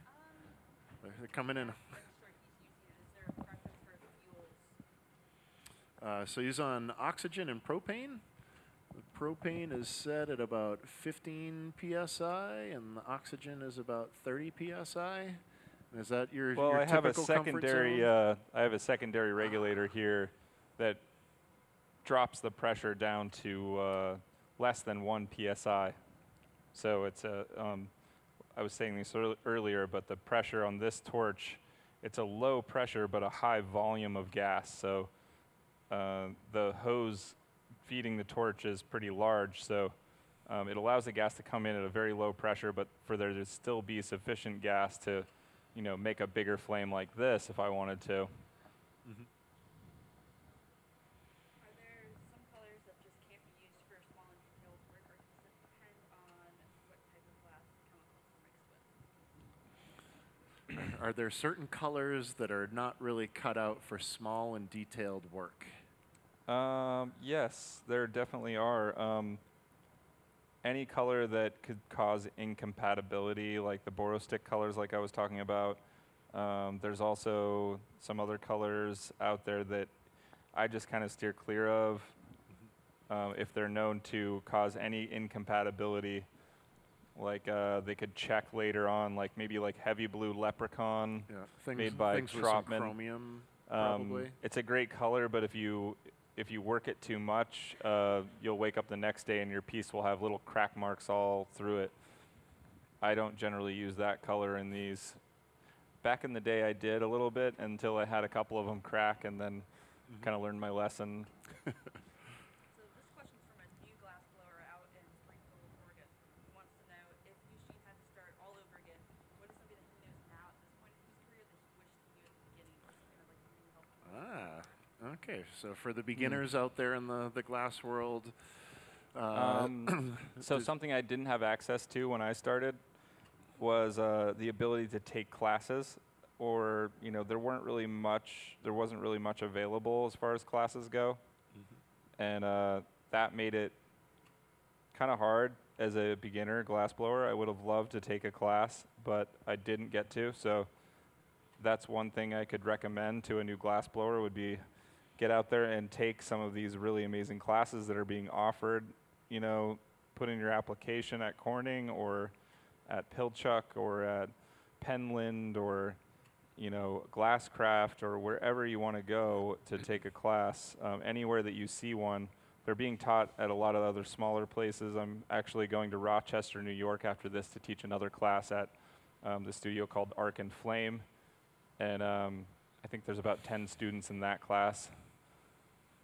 Um, just get out there and take take classes because the the you know it's out there now. When I started, it wasn't there, so that's what I would redo. I'd be I would have been taking classes as much as I could. Yep. Yeah. Uh, it seems like in this day and age, there are a lot of folks who are taking advantage of opportunities to learn via social media opportunities or YouTube videos, and uh, you can learn a ton that way. I've, I've definitely been picking up a, a lot of new tricks off of YouTube videos lately, but it seems like you just can't beat being in person with your instructor. Uh, You, you just can't see the same things through uh, the lens of a camera or off of a monitor that you can really see in person. And there, there's so many subtleties to glassmaking that uh, to be there in person, to make the mistakes with the instructor right there in the room with you, to work you through those mistakes, you, you just really can't beat that sort of a format. And the, the web has definitely opened up a, a lot of great possibilities and opportunities for sharing information, but still that, that person-to-person sharing of information on a, a craft like this, you, you simply can't beat that. I've got one more to subject that. Who are some of the up and coming glass artists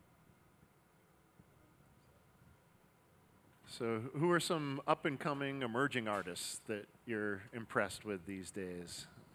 Um, that's that's a great question. There's a, a lot of really good talent coming out now. Um, a name that comes to mind right off the bat is this kid named Avatar. He's his real name is actually Avatar. He lives in Asheville, North Carolina. I think he's uh, been on the torch maybe four or five years, not very long at all. But his his level of skill has just skyrocketed because of all the access to information like YouTube and stuff like that. Yeah. Um, so he's already at a level that took me 10 years to get at, but he got there in like four years. So that's how a lot of glass blowing is nowadays. Just people have more access to information. It's easier to learn. Um, we actually have a really awesome artist here. Uh, this is Tim. He goes by Ease. He's out here in the audience. Stoked to have him here watching. But uh, yeah, there's a lot of other really amazing artists that literally got good in like two years, and I could probably go down a long list, but I can't think of too many right off the bat. I just named one. Works for us. we'll let you try to focus on what you're doing also. oh yeah, no worries.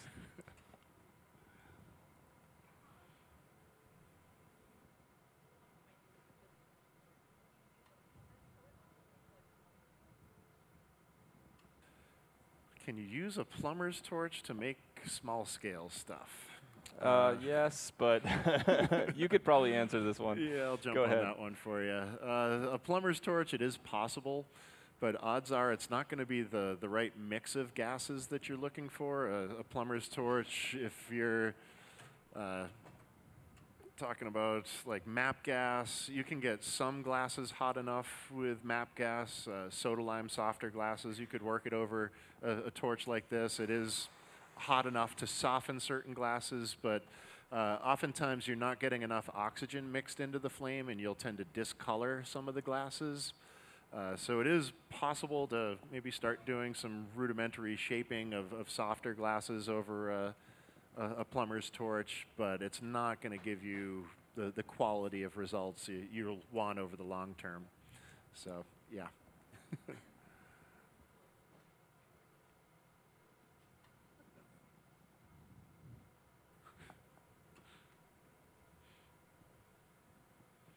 Yeah, the, the torches we typically flame work over run on either natural gas or propane mixed with oxygen.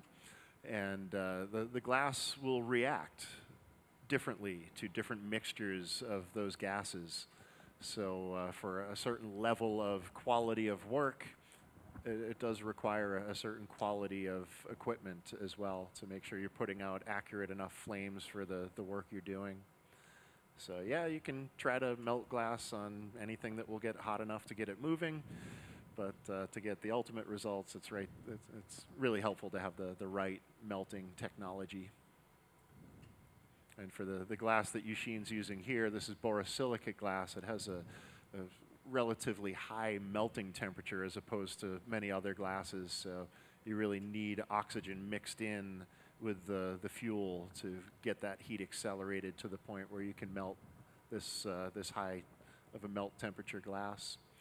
And uh, every once in a while, we'll even mix in hydrogen and oxygen if we need to melt an extremely high temperature uh, glass, something like a fused silica or quartz.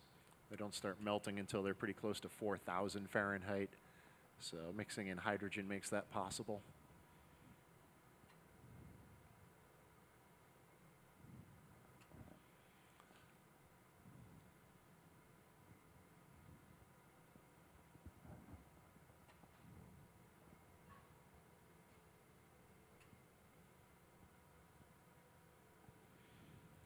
Just pull the stringer off the end of here. We'll see if I, oh, I made it too hot.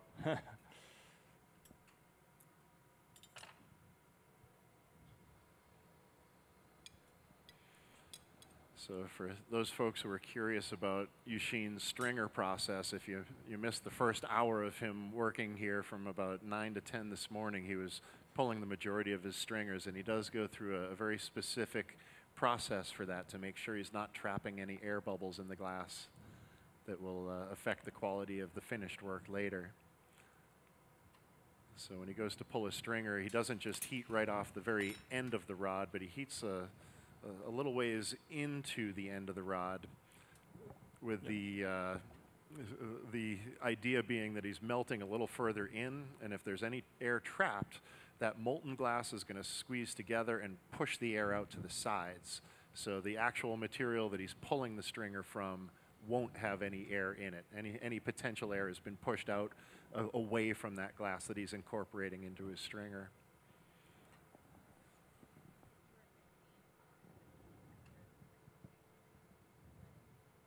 If you're mixing hydrogen, does the color of the flame change in any specific way? Uh, it does. It's uh, actually not very bright when you work with hydrogen. Uh, it can be tough to see the flame, but Dangerous. when yeah, when uh, but it's incredibly hot. So when you work glass with hydrogen, uh, typically you're going to wear glasses that have sort of a bifocal that are very heavily tinted on the bottom and not so tinted on the top. Uh, you want the not so tinted area before the glass starts to get molten so you can actually see the flame. But then you wear a, a, a 13 welding shield on the bottom. As soon as that quartz glass does get molten, it is extremely bright white, and you really need to protect your eyes from it. So, uh, yeah, hydrogen is a, a bit of a different sport. so Uh, I have a, I have a question actually. Um, Mhm. With quartz glass, what are the ingredients of quartz glass? What are the ingredients of quartz glass? Yeah, Quartz. just pure quartz. Like Pure quartz. it's just quartz. Is that it? Yeah, quartz that has been, uh, it's gone through some filtering processes and then remelted into tubing or rod. Wow. Yeah, so it does go through a little purification, What's the melting temperature of quartz? uh, about 4,000 Fahrenheit. Wow. Yeah, So this is 2350. Quartz is 4000. yeah, Okay. a lot hotter. it's hot. It's hot. yeah, and quartz, when you come out of the flame, you have a split second to get it to move, and then it just sort of locks right into place. So it's, uh, yeah, it is pretty tricky to work with. Very. I tried making uh, a couple of things out of quartz just for fun, just to melt it. And Mhm. uh, actually, a funny prank that people will do is they'll take and put a, a tube of 12 millimeter tubing of quartz on your station, and you'll be like, "Whoa, this won't melt," and you'll like break your reamer and trying to open it up and stuff. It's not a good prank. Don't do it. or do, but So there, there are tens of thousands of different recipes for glass out there in the world, and uh, we change glass recipes for all sorts of different reasons. Uh, we may change a glass recipe just to color the glass. So to color glass, we add different metal oxides and different elements from the Earth's crust in with uh, the ingredients for clear glass, so we can change its color. Uh, sometimes we change ingredients in glass because we need different working properties from the glass. And uh, what I mean by working properties is really how long it stays soft for or how quickly it might stiffen up. Uh, the glass that Eusheen's using here, borosilicate glass, is what we call a hard glass. It tends to not stay soft for very long. So as he comes out of the flame, uh, if he were to heat the entire tube, he'd maybe have 20 seconds or, or so to do some shaping. Whereas if he had a tube made of the glass that we have in the furnace here and got it to the same temperature, same amount of mass, he might have a minute to shape it.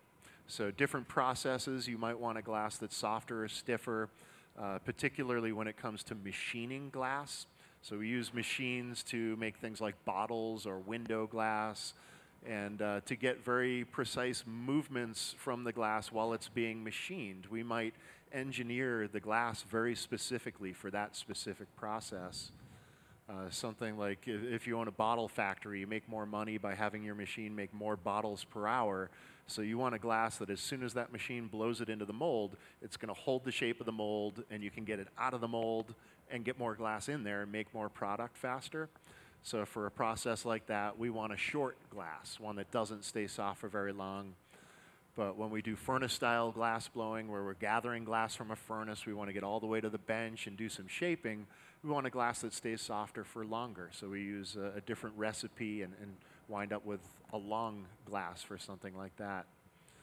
And then uh, another reason why we might change the ingredients in a glass is if we need the finished product to be able to perform a certain way. And that's a, another special thing about this glass here. I mentioned it's borosilicate. There's a little bit of boron oxide added to this that you won't typically find in other glasses.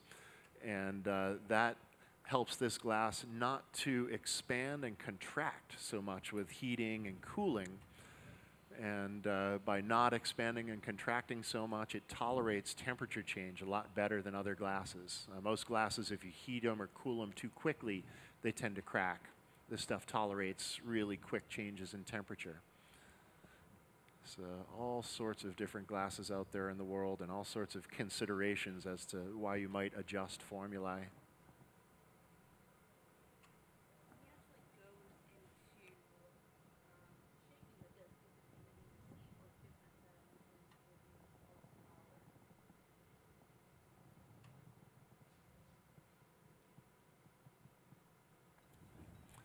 All right, so when Eusheen gets into the shaping of the disc, uh, it is, is, is it going to be a similar shaping to shaping a flower implosion, or is it a different sort of thing?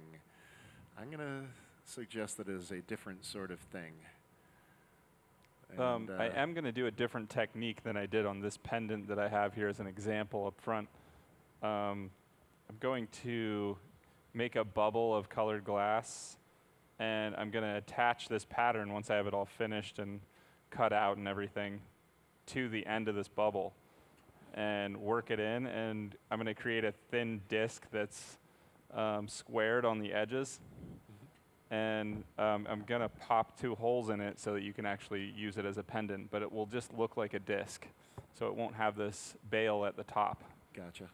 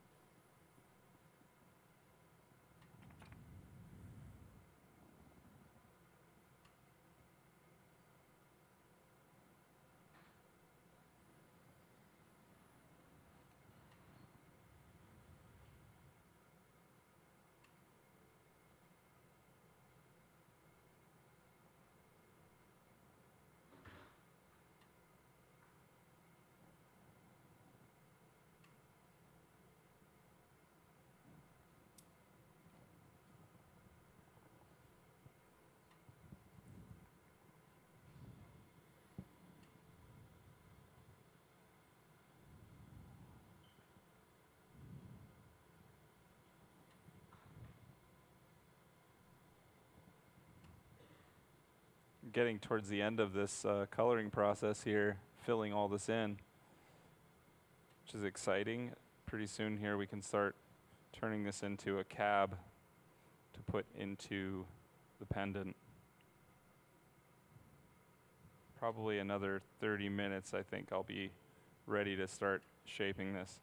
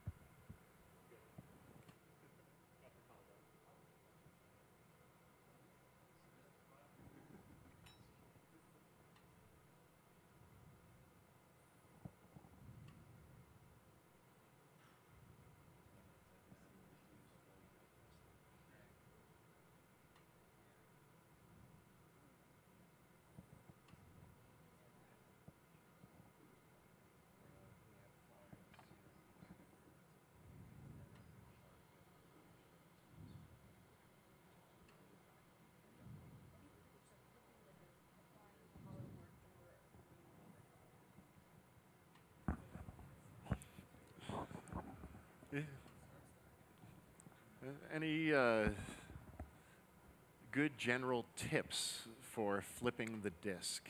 There, Well, I will get to that when I when I get to that part. Definitely, I'll I'll explain the process.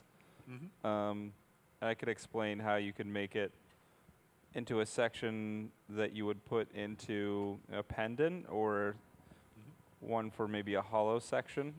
Um, I'm going to actually be doing the technique to uh, make this a hollow section because uh, instead of backing it with color like I did on this pendant over here, it'll it'll just, just it's basically just a different way of making a pendant, but same idea more or less. Yeah. Gotcha. Yeah. Hang in there, internet folks. You're going to see all these steps. I'm getting there. I'm close.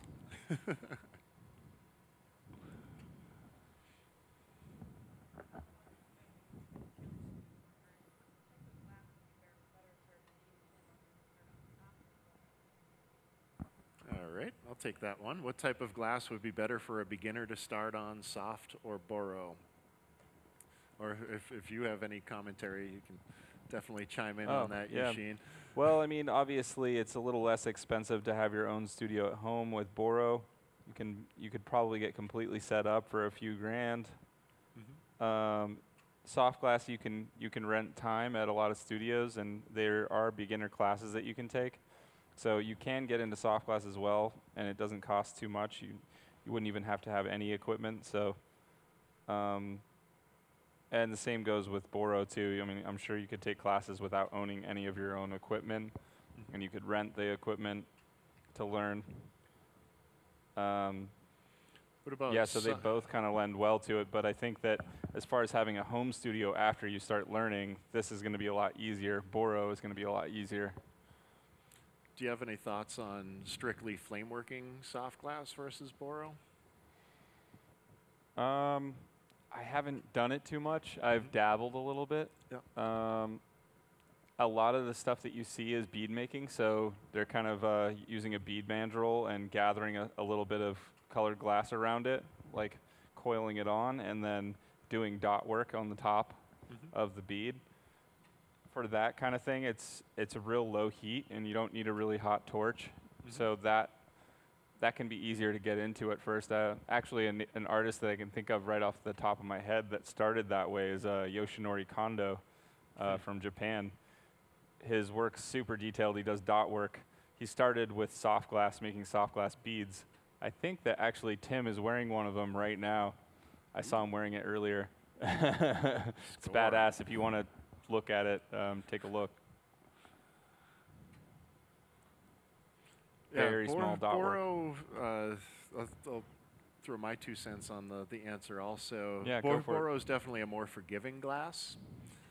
But in my experience, if you can learn how to work soft glass on the torch, it uh, sort of teaches you what glass wants and needs on a very specific material level, and it can make working boro even easier. I could see that. Yeah. So it, it is tough to start learning complex sculpture in soft glass. It's uh, easy enough to start learning it in sort of bead forms. That's that's a reasonable way to get started. But uh, soft glass really reacts differently than borosilicate. So boro tends to be more forgiving in most situations. Might be a little easier to learn certain types of objects on, uh, especially hollow forms or sculptural forms. But uh, there's some serious benefits to learning soft glass on the torch as well. So I'd say just get started, whatever you can get your hands on. Yeah, I don't know what materials cost for soft glass uh, for flame working, but I imagine it's not too terribly expensive. It's pretty cheap. Yeah. Yeah. Yep. Yeah, that, that would be another consideration. I, I generally recommend people start just with clear glass, anyways, no matter what you're beginning in. But if you want to get started and get into some colors, uh, soda lime colored glasses are a lot cheaper than borosilicate glass. So if you're really curious just to experiment with color in glass, then maybe the soft glass might be a less expensive route to go. But uh, as far as more forgiving for your shaping and, uh, and getting sculpture off the ground, borosilicate's definitely more forgiving there.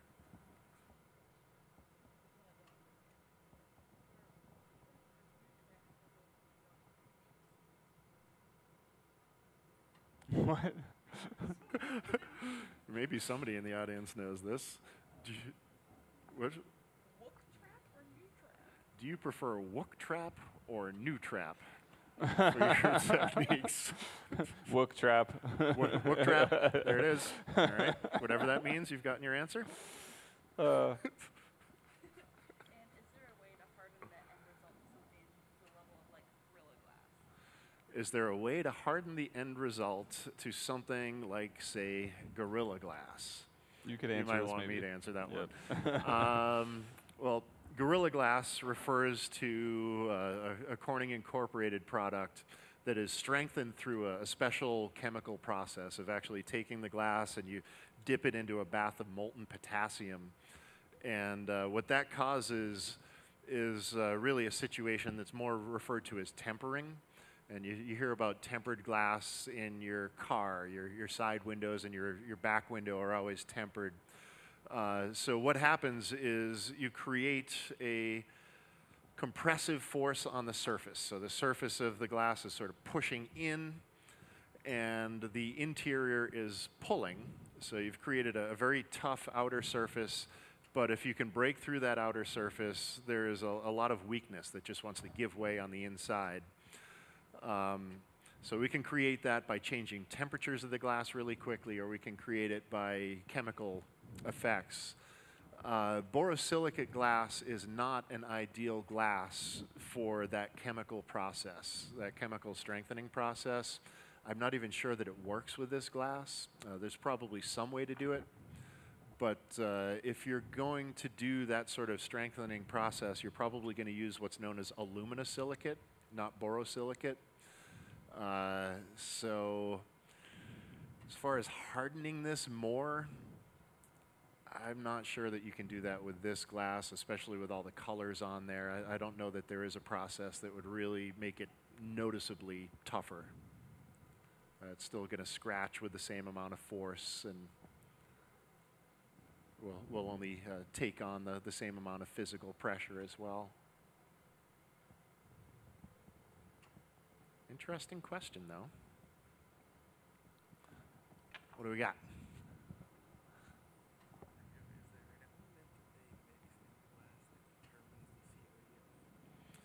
Is there an element they mix in the glass that determines the COE? Uh, there are, and I, I am not a chemist by any stretch. uh, you can adjust COE with different ingredients. So there, there are many different ingredients that can adjust it up and down. Uh, for those of you who are not familiar with our, our jargon here, uh, COE refers to coefficient of thermal expansion. So as glass is heated, it's sort of swelling on the atomic level, and as it cools, it's contracting. So for glasses to be compatible, uh, for them to, to work together and hold together in a finished object, they need to be very close in that rate of expansion and contraction. So uh, the, the glass that Eusheen's using here, this borosilicate glass, tends to be around uh, a coefficient of about 33. So anywhere really from about 32 to 34 is where you'll, you'll typically find artistic borosilicate glasses, uh, as opposed to the glass in our furnace here, which is a 96 COE. If we try to put those two glasses together, they will stick together while they're hot, but as they're cool, they will peel apart. And uh, actually, it's a pretty cool. You can do a cool see. test actually. Yeah, let's Um, do that. One of the one of the nice tests you can do with boro of different kinds. Say you get a, a stick of boro and you've like I've never seen this color. I wonder what it does. You can take it and you could uh, you could attach it to clear. You could have clear on one side and color on the other side, and you could pull a uh, ribbon basically with you know the clear on one side, color on the other, and then you let it cool. It's perfectly straight when you pulled it, but as it cools, um, it'll either bow one way or the other um, and that will kind of tell you what the COE is. If it's the same COE, it'll stay straight. If it's not, it'll bow.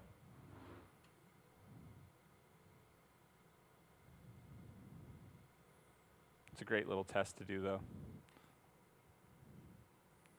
If you're like, this is cracking everything I've made lately, and then you do that test and you find out it's totally, totally off on COE, then there's your answer.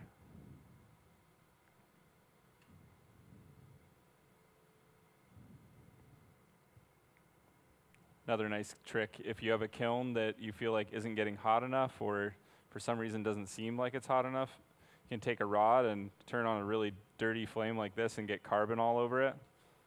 Put it in the kiln all carboned up and in about 15 minutes the carbon should burn off if your temperature is at if your kiln is at temperature. If it's not at temperature, the carbon will just stay on there or you might see some like spotting where on the back part of the kiln it burned off, but as you get farther towards the front, the carbon's still on the rod. It's kind of another cool test to do. Kiln kiln testing. You can like diagnose a kiln too, because sometimes there's cold spots in your kiln. You can go, oh, I want my piece to be hot, and I want it to anneal correctly. Then you can put it in the right part of the kiln where it's where it's actually at temperature.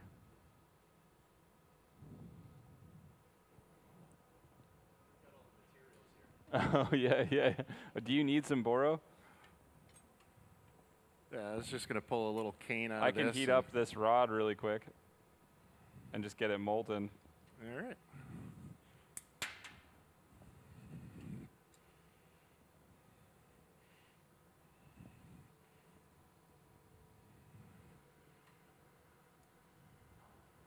Barely even wants to stick on there. That's It- crazy. It did stick though. Yep. Are you gonna pull a stringer? Yeah. Oh, cool. We can see this trick here in action. You could do it in the flame if you want. Well, I'll try it with this. here, I got a rod here. I could grab onto that.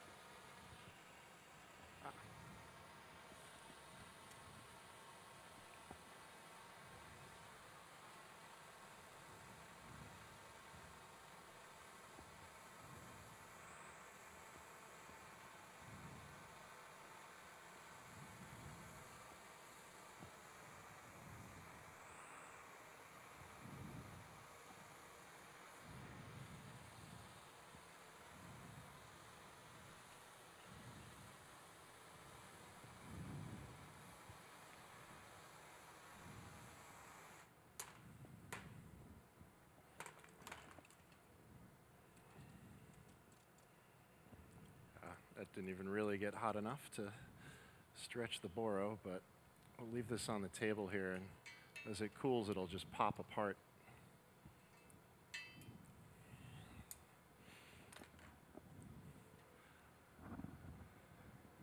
Uh, that MAPP gas isn't really hot enough to even get boro moving. but as these cool, they, uh, they should separate in a couple of seconds here.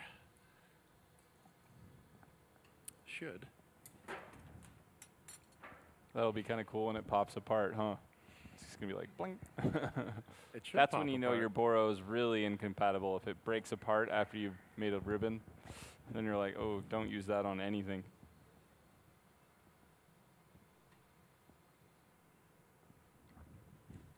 Surprised it hasn't popped yet, but it is bound to. Every once in a while, glass surprises you too. On rare occasions.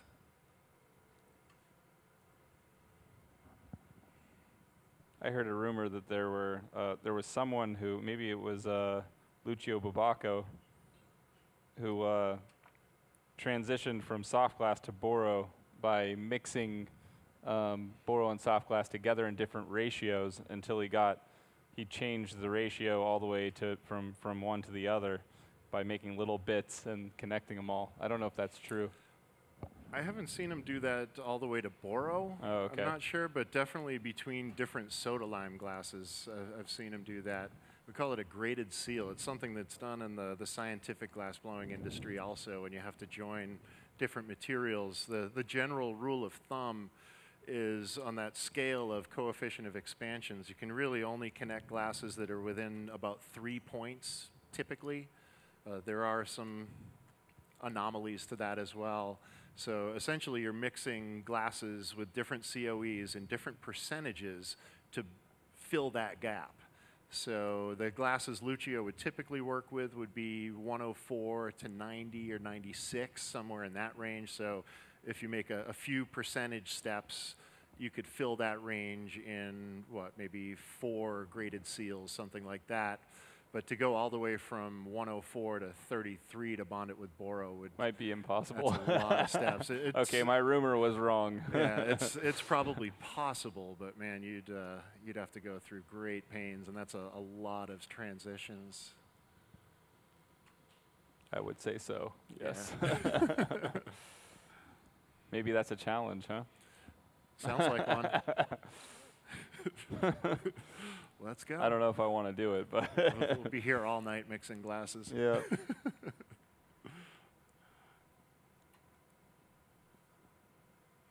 Yeah, and there are there are some ways around coefficients of expansion being within that three point range too.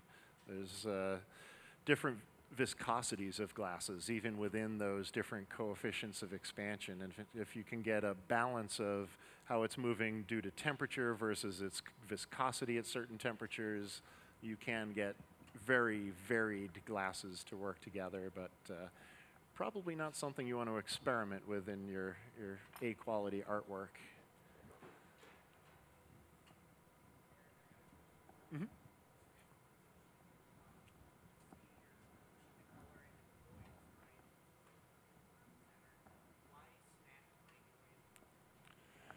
Uh-huh. Yeah, we got that question a few minutes ago on the web too. So you want to? Oh, yeah, yeah. Sometimes you're snapping the rod apart. Sometimes, Sometimes you're I'm melting it. snapping it. and sometimes I'm letting you know the really small spaces, the ones that are like they're probably only one millimeter in diameter that I'm putting color into. I'm uh, I'm pulling uh, away and, and leaving a little bleb of color on the end.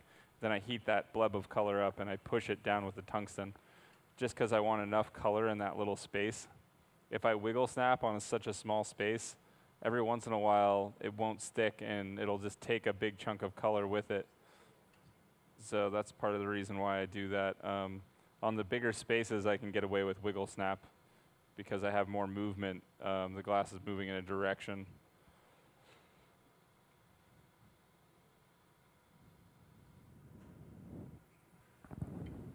So I was just examining our, our little combination of soda lime and borosilicate, and it did crack. It, it popped off of the, the mass that I pulled out there.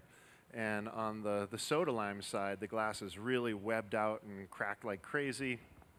Borosilicate side didn't, I don't think it cracked at all. It looks like it's perfectly clean through there. And uh, my, my theory on that is that the soda lime glass has a much broader uh, coefficient of thermal expansion. It's trying to move a whole lot more than the borosilicate, so it's going to put itself under more strain and it's going to break into more pieces. There's, there's more energy trying to pull.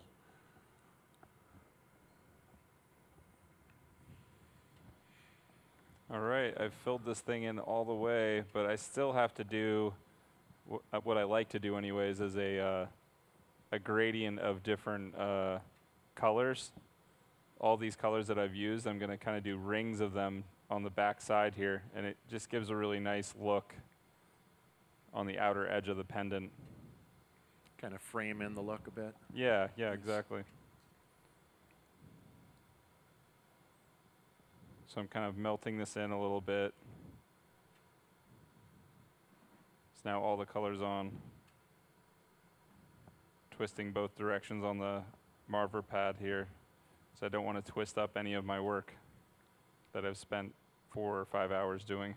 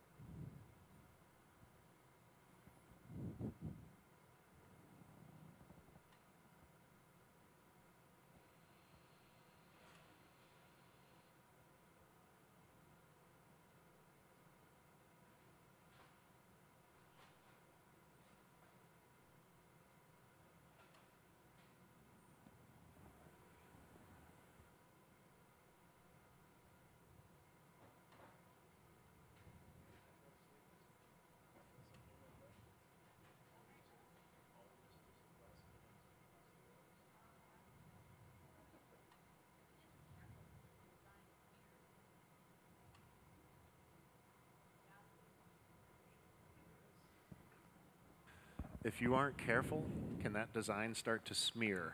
Oh, 100%. I've had that happen so many times. Um, it usually happens when I use too hot of a flame and I heat up the base lines, the black and white lines I have underneath here. If I heat those up, I will totally, totally smear them as I'm laying the color on top. Mhm. So I have to be careful. Less heat.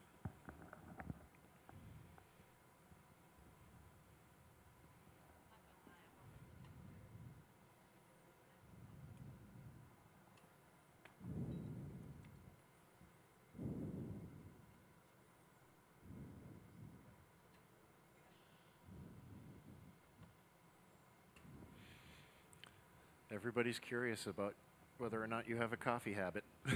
It's a popular Um, question. I like coffee. I don't drink a whole lot because um, I love the flavor of coffee, but if I have more than one cup, it affects how I draw the lines. Sure. Yep. Um, and honestly, one cup is pushing it. A lot of times I drink like, I like European sized coffees. I can drink that size coffee. Yeah. It's like a little teeny one, you know.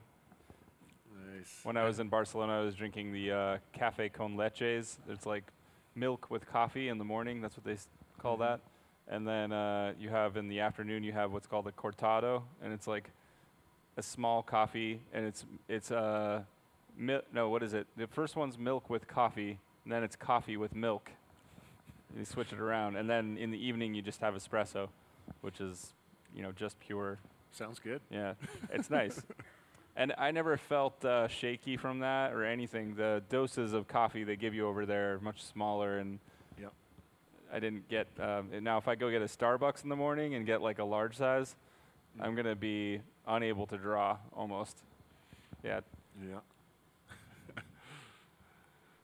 yeah, I know. Uh, I, I heard one of the old engravers for Steuben glass years ago talking about how he gave up coffee and gave up alcohol to steady his hands for that level of engraving. So sometimes you, you have to make some commitments to the work for a certain level of work. You got to keep your body in a, a certain condition. I have found that when I drink less alcohol, um, I can draw the lines cleaner as Yeah. well. Um, honestly, 100% sober is how I prefer to do this kind of work. Yeah. I do my best work when I'm not affected by anything. Mm-hmm.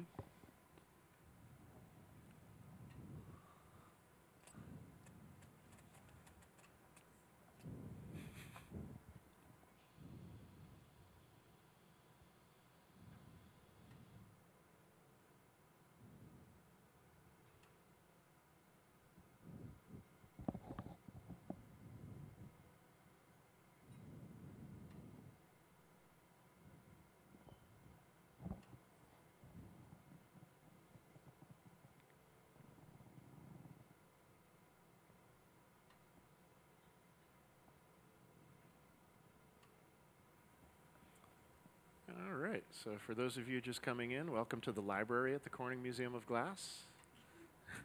ah, this is our Hot Shop Amphitheater, uh, but we've got deep concentration going on in here. Uh, typically, in the amphitheater Hot Shop, we uh, do so fairly large scale glass blowing projects, things like vases and bowls and goblets and uh, a lot of the, the objects that you typically think of for blown glass. But we have a really special opportunity both today and tomorrow. We have a visiting artist. Uh, this is Eusheen Goines, who is visiting from Colorado. And uh, he was here this whole past week teaching a, a class on uh, some techniques that he is a, a renowned master of at our teaching facility across the, the parking lot here, the studio of the Corning Museum of Glass. And uh, we are lucky enough that he is willing to stick around for a couple of extra days and really show how he makes his work. Now, typically, demonstrations here at the Corning Museum of Glass, we keep most of them between about 15 and 25 minutes or so. And uh, that allows us to make pretty decent objects that really represent the, the glass blowing process pretty well. But to make more advanced objects, it takes a lot more time. And uh, Eusheen is spending the entire day working on a very detailed pendant form. And uh, walk around and, and show you guys the sort of patterning we're going for here.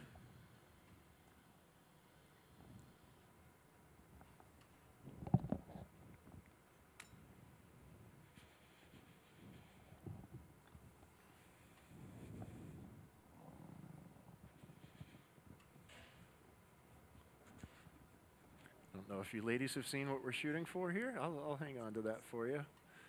But super detailed geometric pattern work going on there. So he's been working on the, the pattern itself on the outside of a, a piece of cylindrical tubing. Just about done doing the patterning, and now it'll be time to change the shape into a, a pendant form. So we're, we're getting through some of the steps here. And to make this level of work with this level of detail takes all day.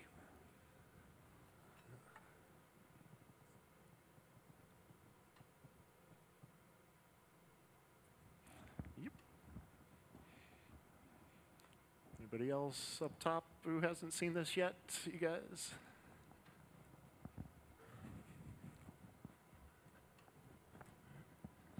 I'm getting my exercise. Good. Yeah, so super finely detailed geometric pattern.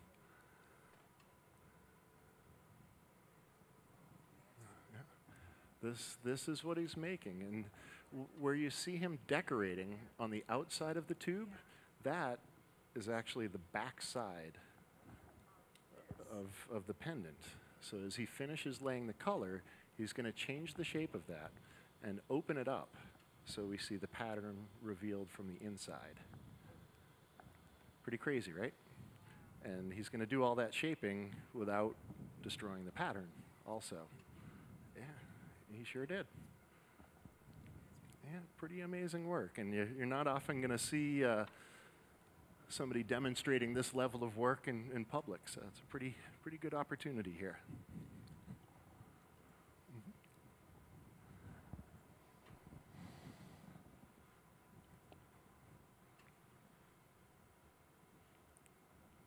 Yeah, not bad.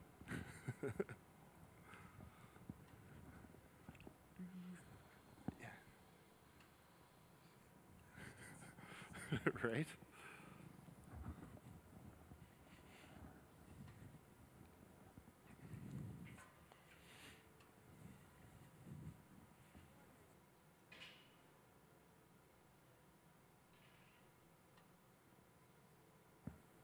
Long has Eusheen been working glass and how did he get started? Ah, You wanna I jump kind of back in on mentioned it one? earlier, but Yeah. I could say it again, I guess.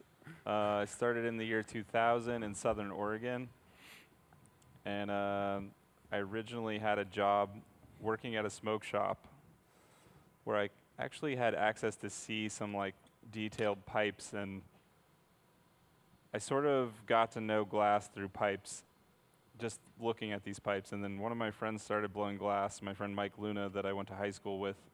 And I would, over the course of about a year, watch him once a week maybe twice twice a week, maybe less than that, maybe only like once a month. But I would go watch him, and he would always say, "Hey, you should try it." And I didn't want to try it.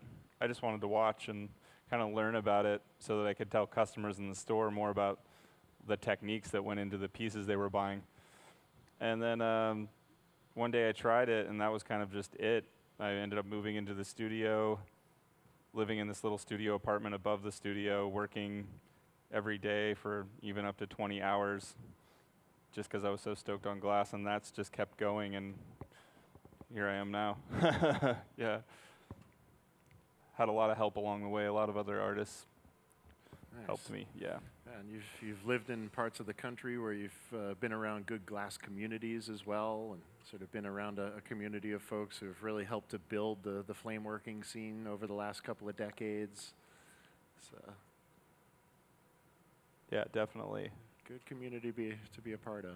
The studio where I work now in Evergreen, Colorado, I share with uh, five other artists uh, WJC Glass, Nate Myers, Adam G, um, Joe Peters, and Elbow. Those are my those guys are my shop mates, and they're they're huge inspiration to me, all for different reasons. They're just mega talented. They're you know leaders in the field of what we do.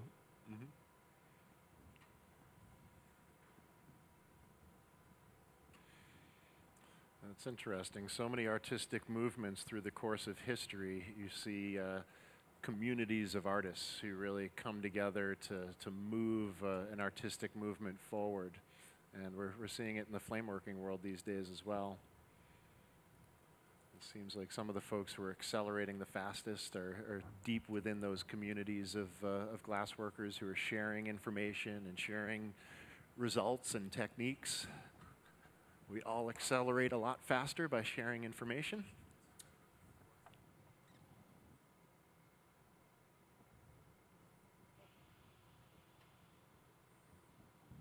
All right, I got a couple more lines to do, and then I'm going to actually start the process of flipping this.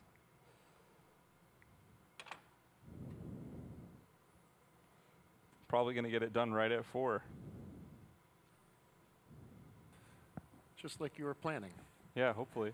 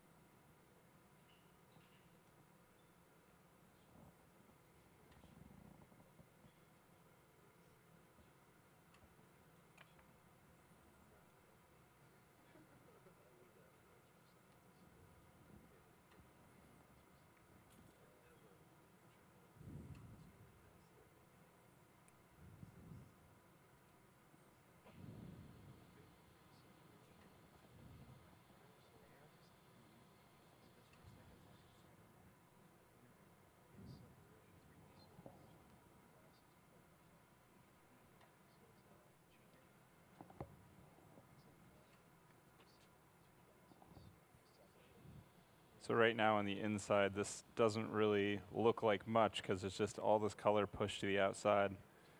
It's almost kind of like reverse painting. The stuff that I want to see in the foreground, I put on first, and then all the other stuff that's farther in the background, I put on after that.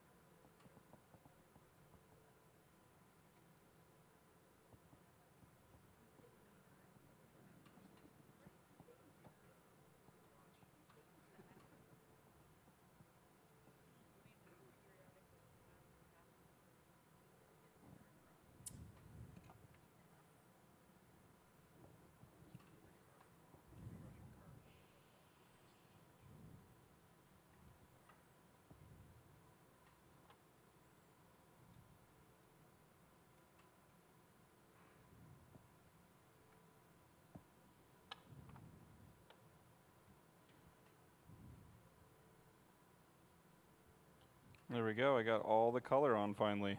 Woo! Golf clap for getting all the color on there. There we go. Yep. that only took five hours.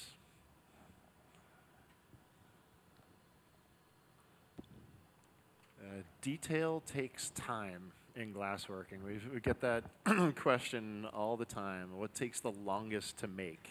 Well, the more detail you put into an object, the longer it takes, whether it's color pattern or sculptural detail. Uh, building up mass can happen fairly quickly, but uh, it's really the, the details that you gotta you gotta spend lots of time on. And to get high quality details takes even more patience and more and more attention to every level of your process. And Eusheen, right from the very beginning of this process, just pulling those little threads of glass that he uh, does for all his color work there. He's very precise, and even how he just prepares those. So they, uh, they work well for him as he's applying them. They work properly all the way through the, the melting and shaping. Every step of the process matters to come out with a, a high quality object. So right now I'm uh, I'm thickening the end of this this tube. There's a little bit of extra clear on the end, and I'm kind of just gathering it up. I'm thickening it up. I'm going to do the uh, termination, and actually a term I came up with in this class that I just taught across the way here was uh, I do this thing where I, I gather up a bunch of glass on the end, and it creates this kind of like sharp Maria. I was calling it uh, uh, the termination of oleo because it kind of looks like an Involio. And then uh, that creates this thick glass close to where the color ends.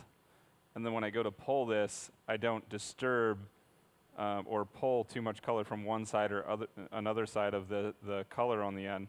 It pulls all evenly. And then when my termination's pulled out, it's even, it's not uh, crooked or something like that.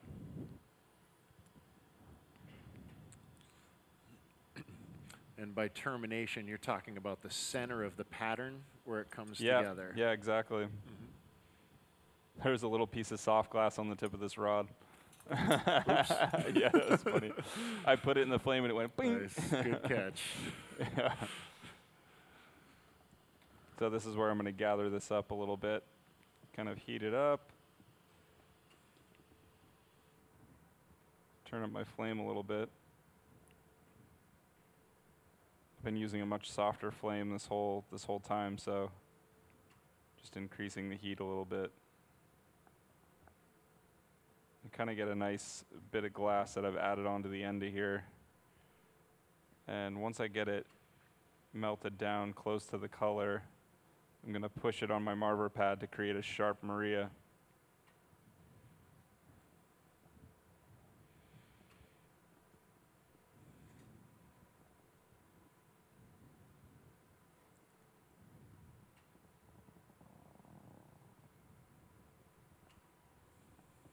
We go. Some thicker glass there on the end. It looks like the opposite of what you would want to do to do the termination is to add more glass to the end, but sometimes you have to add it so that you can take it away.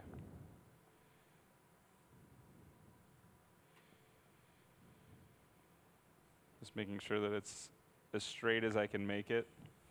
I'm going to actually, as this cools, I'm going to hold these uh, handles out towards the ends more so that um, the errors of my hands rotating are not amplified, or they are amplified so I can see the imperfections.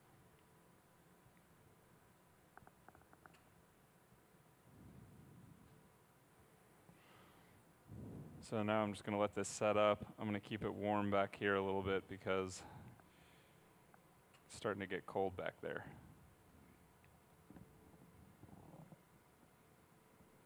Looks like I caught one little air bubble.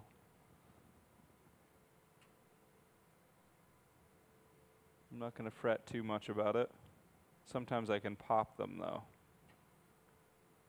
a special air bubble popping technique. We'll get to that later. Okay, so now I've got a nice, small, sharp, hot flame. I'm going to heat this up right at the end, right where the color ends on the tip here, right where, right next to the uh, the Maria that I pushed together there. That Maria kind of doesn't get hot as quickly as the tubing gets hot, where the color is. So it serves as a a stopping point where the the when I pull this apart, the color will stay at that last stopping point against the the Ovolio or the the Maria and then I pull away and it pulls evenly.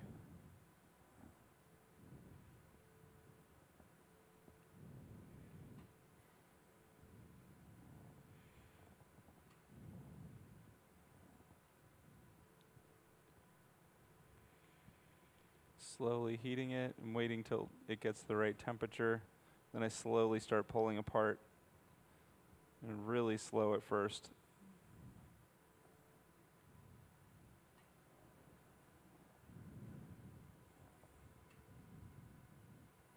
And I'm not twisting at all. Both hands are spinning at the same speed as much as I can.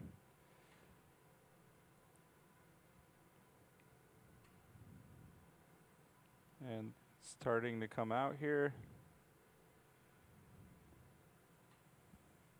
I got a nice even pull here. I'm pretty happy with it.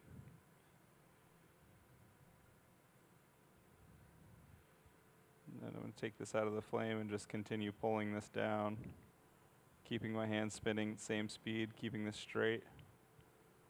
And I'm going to keep that just like that for now. It's pulled out, it's not pulled all the way off.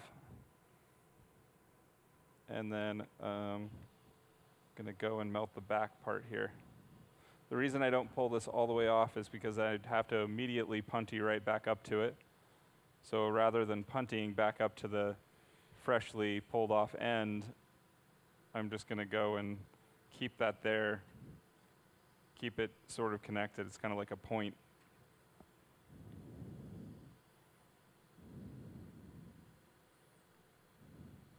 Now I'm heating up right behind the uh, color rings that I did.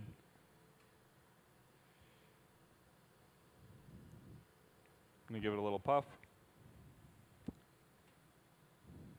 It's kind of starting the back bubble. This is the bubble that I'm going to actually uh, turn this into a, well, I'll flip this design around the other way, basically.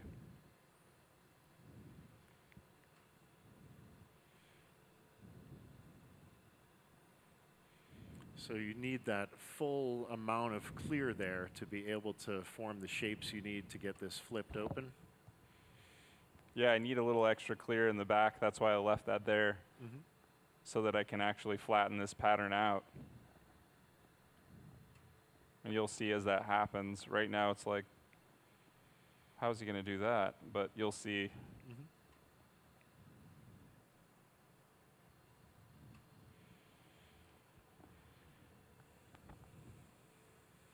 Just keep gathering this up, adding, heating up, adding a little bit more of this clear tubing into the bubble of clear that I have going and puffing it out. And I'm going to gather up all this 19 mil I have.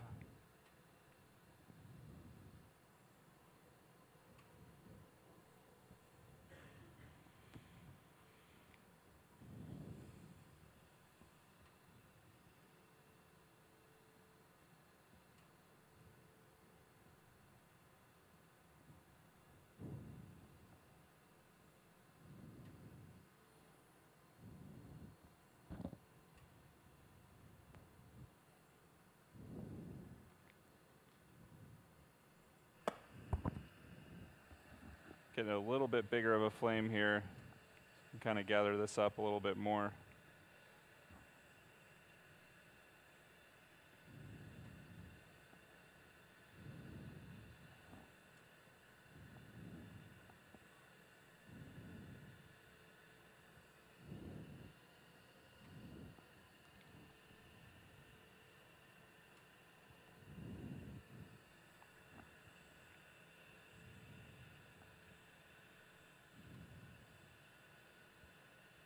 Sometimes I don't have enough clear on the backside and I have to add a little more, which is never fun to do, but you got to do it sometimes. I think I have enough here. My rule is, is uh, if you draw on one third of the tube, then the other two thirds should be clear, so that you can flatten the design out afterwards.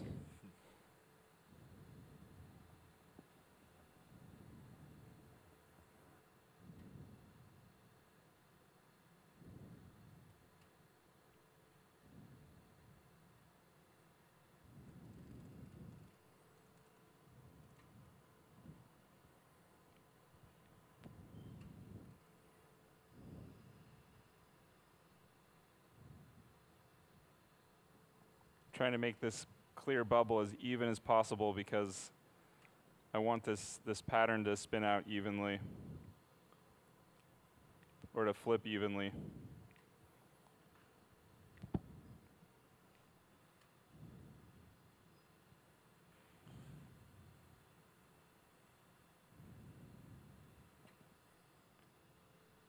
Basically, how these patterns work is anything that you do to them in the beginning reverberates out to the pattern in the end. If you have something that's one millimeter off in the beginning of drawing it, that one millimeter could translate to quite a bit in the end. That's why I use calipers. Like earlier this morning when I was drawing this, I was using calipers to uh, make little marks and dots on the tube to draw the lines. So I could I, I could have it be as precise as possible.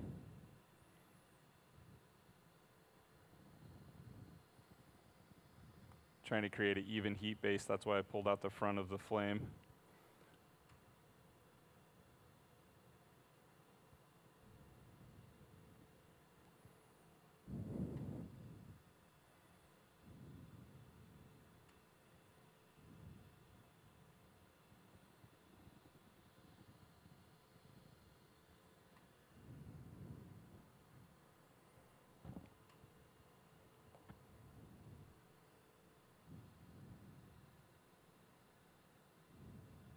Okay, that's going to be good. I'm going to finish the uh, termination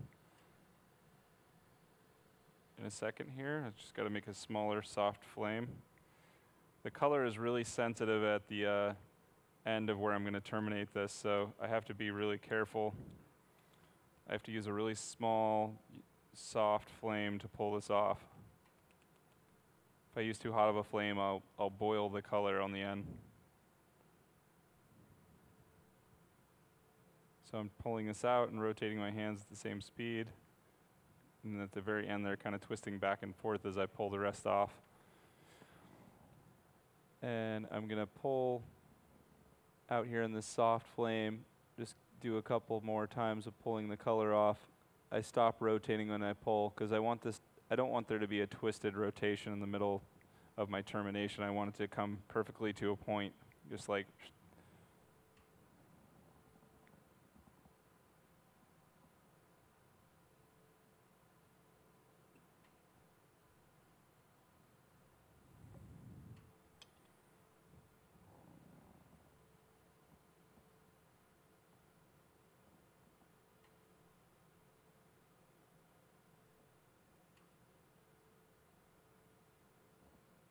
Right, I think that that could be good enough. Just trying to take a look at it and see if there's any twist going on, anything like that. I'm going to melt it a little bit and see how it feels. Seems pretty good. I think I'm going to do a couple more pulls off the end of this.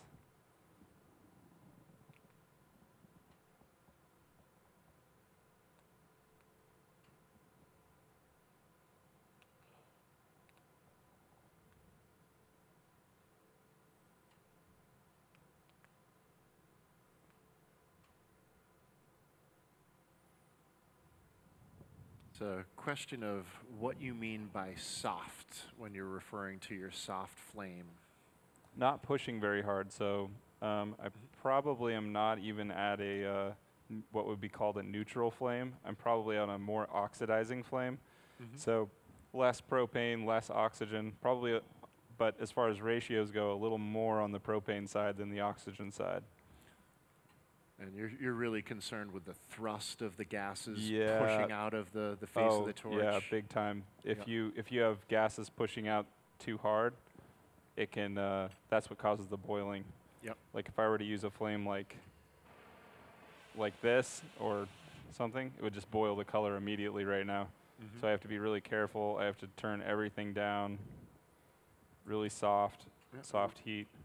And I can notice a difference in your candles and the flame also. Yeah, the They- they candle gets bigger softer. on the Arnold torch. I Mhm. can actually help that by turning this on. This is a flame optimizer. Hmm. It's a little knob. Gets rid of the bright candles a little. Mhm. And I'm also not aiming the flame right at the the very tip of where I terminated this.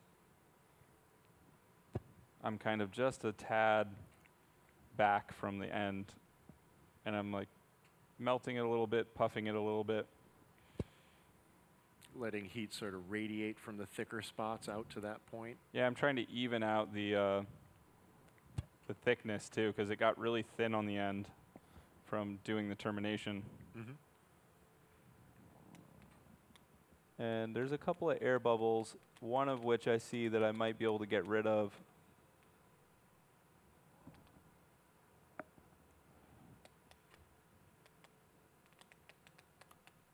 So did you hear that sound? That was me actually pushing an air bubble with the tungsten pick cold, and it broke. It broke through with the tungsten pick, and then uh, I can actually go back with a small flame and close it up. It's a different style of cold working than you typically see. It really makes a difference. I mean, because you you just completely get rid of that air bubble.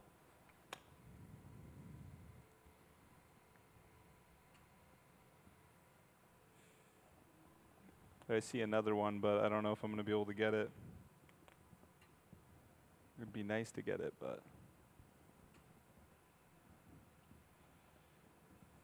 it hasn't worked itself to the surface. If I melt this a little more, it might come to the surface a bit more. Sort of impossible to avoid air bubbles, so I try to pop the ones I can and get rid of them. The ones that I can't get, it's a maker's mark.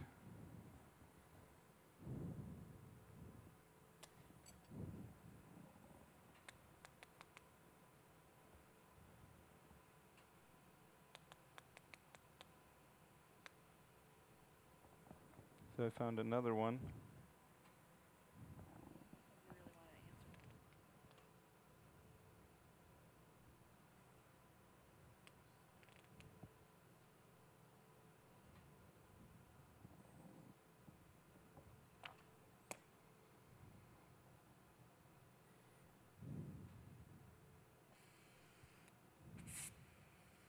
Sometimes the mini torch can help them come to the surface.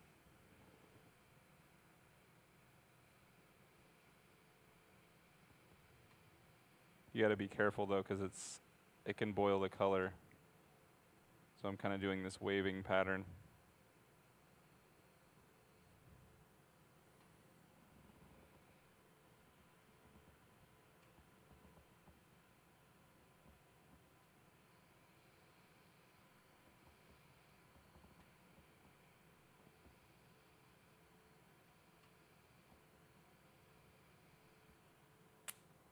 I just uh, kind of pushed this one to the surface. And I broke it.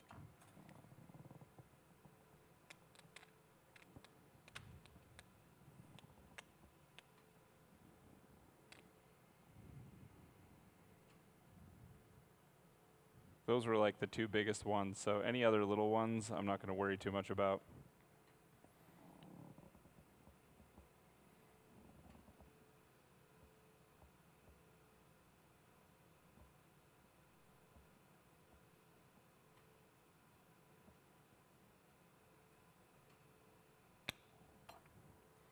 All right. Pop the air bubbles that I can pop, basically.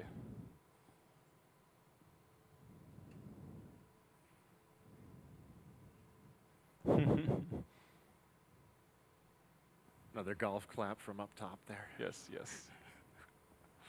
So back to uh, turning this into a disc. I'm going to flip this whole thing now.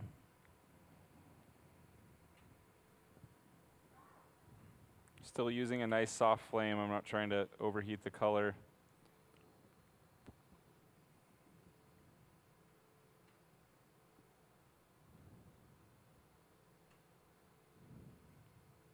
I'm always spinning one direction, then spinning the other direction so I don't twist my pattern. If you twist one of these up, it's like the worst feeling.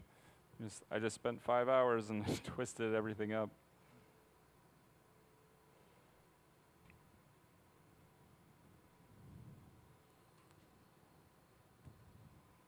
Do you have anything that you do with the twisted ones, or do they just go in the bucket? Um, I can untwist them. That's the good thing. Yeah.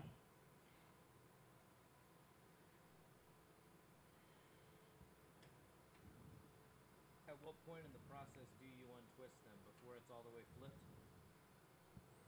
Um, yeah, definitely.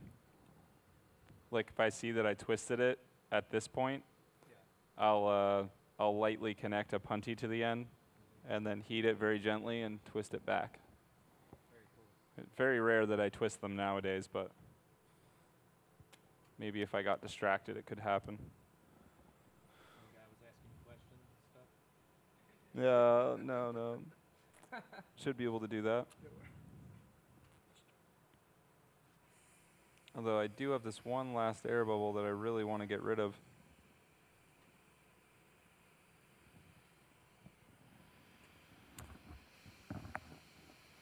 So, for those of you who have just joined us in the, the last few minutes here, uh, welcome to the Amphitheater Hot Shop. Now, typically, what we do in this space is we do furnace style glass blowing. We use these big ovens that you see behind us here and make things like bowls and vases, some of the objects you see on the, the front of the, the far side of the stage there. But uh, we also like to use this space to host artists from uh, out there in the world who may not live here in Corning but may be renowned artists and give them uh, an opportunity to show us how they, how they make their work. And so we are very fortunate today and tomorrow to have Eusheen Goines joining us from Colorado. And uh, he has been here this whole past week. He was teaching a class at our teaching facility across the parking lot, the studio. And uh, now we've got him here today and tomorrow to make some of his work for our, our public audiences to see. And uh, so he's using a process known as flame working. And uh, for flame working, as you can see, we use a, a very focused heat source, typically a torch. And Eusheen has been working on what is going to be a, a pendant all day. Uh, he started at 9 o'clock this morning. He's been working on the same object the whole time, making a very fine geometric pattern for uh, what ultimately will be a, a pendant. So he's applied all the color, and now he's starting to change the shape. And uh, he wants to change the shape of the form without changing the pattern and, and without that shifting around. So there'll be a phase of multiple stages of heating, inflating a little bit, and really slowly adjusting that shape, making sure that the pattern doesn't shift at all. And uh, I'll, I'll take a quick lap through the, the bleachers here. For those of you who haven't seen the, the finished object that he's shooting for, we'll show you how this pattern works.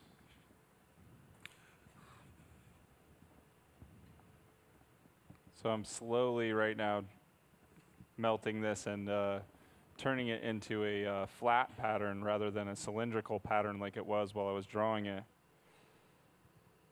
And I just go really slow. I melt it a little bit, I puff out a little bit, melt it a little, puff out a little bit until I get this flat.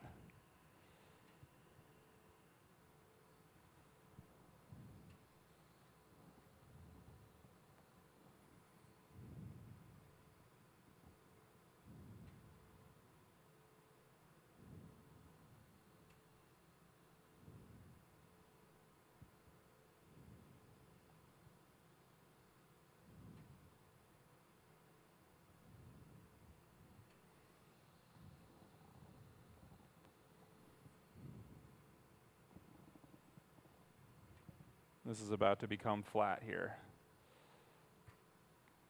This is the best part.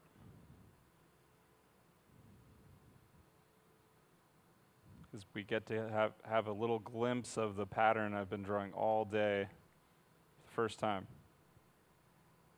We'll see if it came out good. If not, I'm going to put it in that water bucket. No, I'm kidding. I don't ever put my stuff in the water bucket unless it's uh, just completely toast.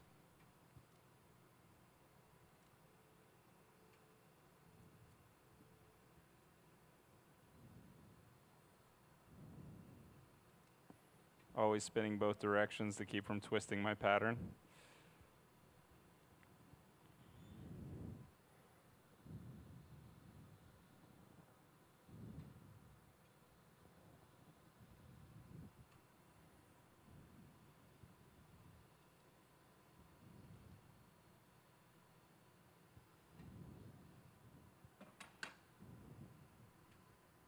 Now I'm going to dip this pattern into the tube a little bit. I'm focusing the heat on the center.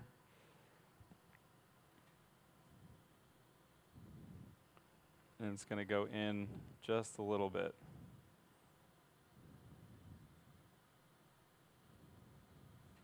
Holding the tube downward so gravity makes it fall in just a little bit.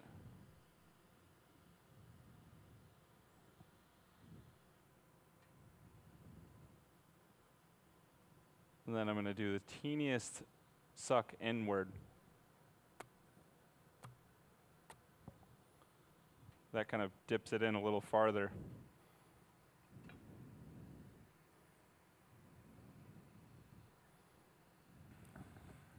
We get a lot of guests here at the museum who uh, are under this impression that if you inhale as a glassblower, there's been sort of this long-standing myth that you would burn up your lungs. Well, not true. All that hot air doesn't come all the way back through, and sometimes we intentionally have to inhale to, to change a shape a, a specific way. All right, so next, I'm going to use this punty here that I had from earlier.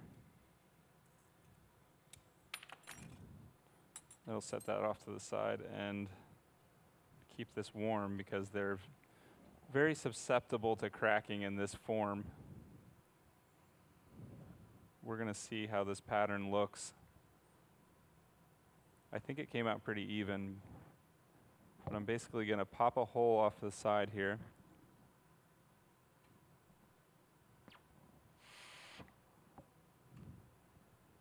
Oh, I don't have any shears. Just realized that. There's probably some over there, huh? Small ones?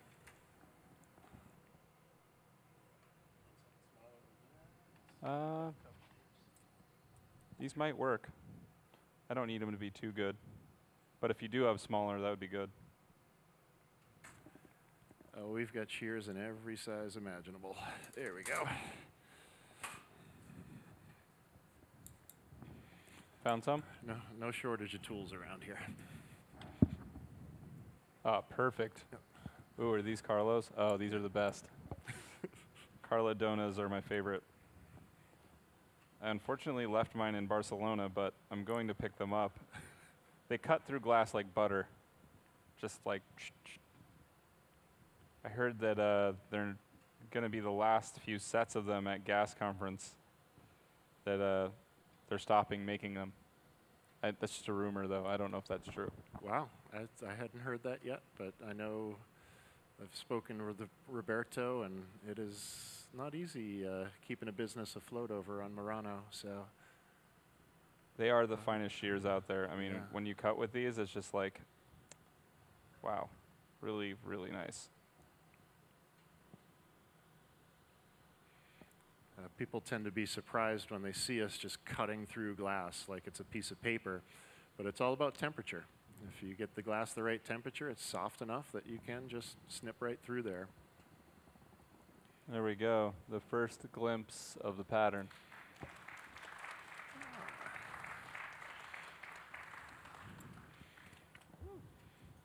Actually, this one came out great. I'm really, really happy with it. Usually in demo situations, stuff doesn't come out as good, but this is not the case with this one. This one's probably one of my better ones in a while. So all the questions didn't throw you off.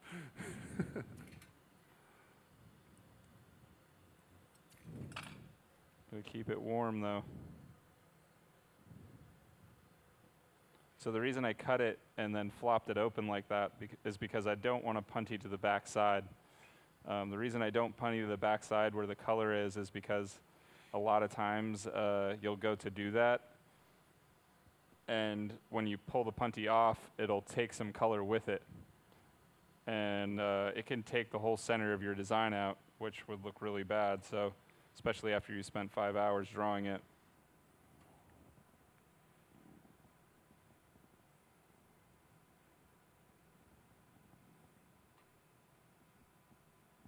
So I'm going to heat this up in the center, get my punty hot. I'm going to attach this as close as I can to the center.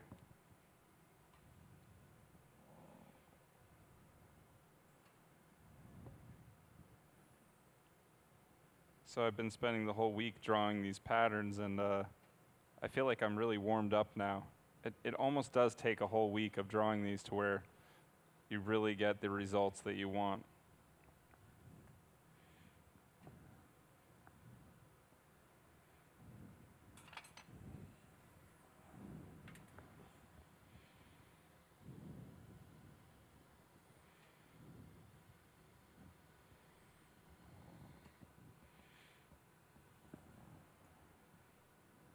Okay, so now I got to get this excess clear off. And lucky for me, I have these fantastic Carlo Donà shears here to cut it off with. Because normally, since I left my Carlos in Barcelona when I was visiting there in October, um, I haven't had them, but I'm going back there in, um, in March.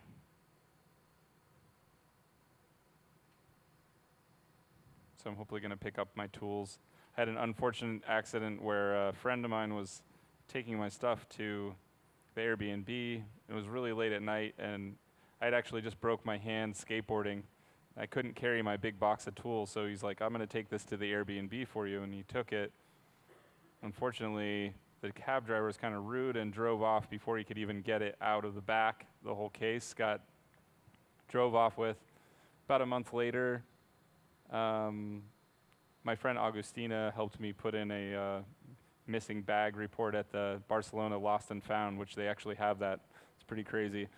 But a month later, they called her and said, We found the box. It was a big pelican with stickers all over it, so it was unmistakable.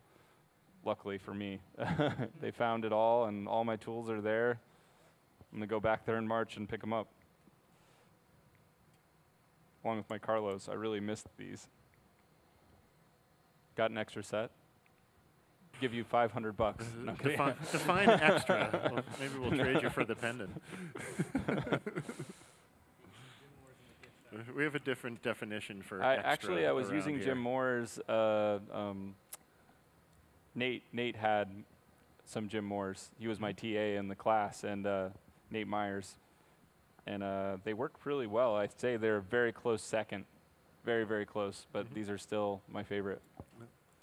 Have you worked with cutting edge shears at all? Yeah, Red- I didn't like how they cut. Yeah. Not as much. I like these.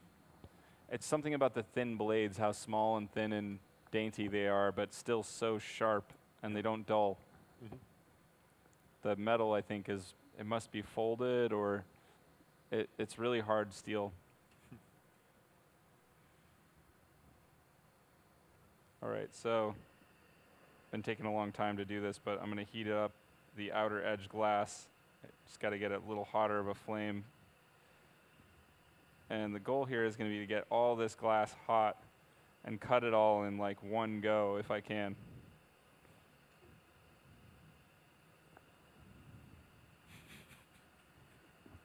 That's what I would prefer to do. Cut it all off in one go. With these, might be able to do it.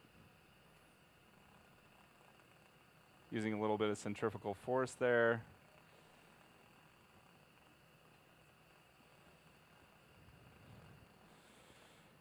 And now I'm going to go in and cut this.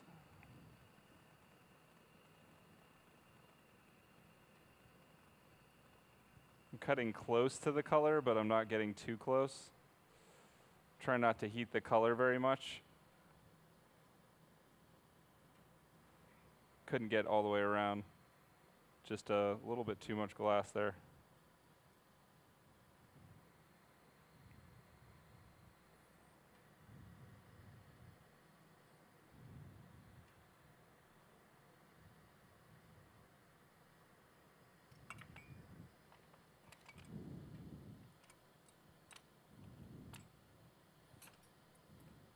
I just wanted to put this in the garbage there.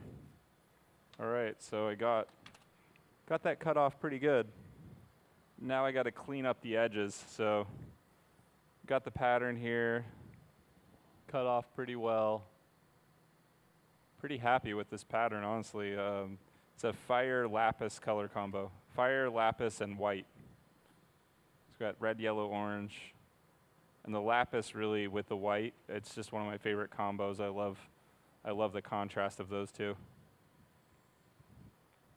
So now I'm going to go in with the uh, six mil rod. I'm just going to peel off the outside layer very carefully.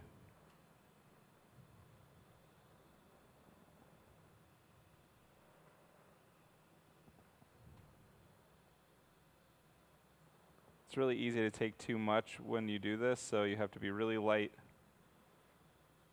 A lot of times nowadays, I uh, I'll cool this off, and then take it into the cold shop and grind off all the clear on the lap wheel. It's a much better way to do this. It's a little cleaner, but for the sake of this demo, I'm going to do it the the hard way, so we can get it done. Otherwise, we'd have to sit here and wait for this to cool and then take it in there.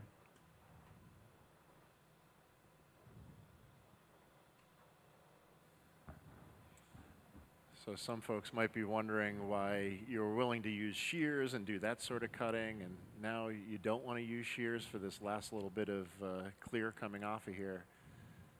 I have a sense as to why that would be. You want to explain that to the crowd? Why, why Um, you're now sort of peeling glass off rather than cutting through it? Um, yeah, because the shears, it's just a little harder for me to get, like the size of these blades. It's hard for me to get in there and get that clear off without distorting the color. Because uh, to get this clear hot enough to cut, I would have to heat into the color a little bit, and then I could distort my color and distort all the pattern work that I spent hours drawing. So I'm just going to slowly peel away at it. It'll take a little bit, but not nearly as long as the uh, the drawing process. Mhm. You said a question about that, la- that cold working process.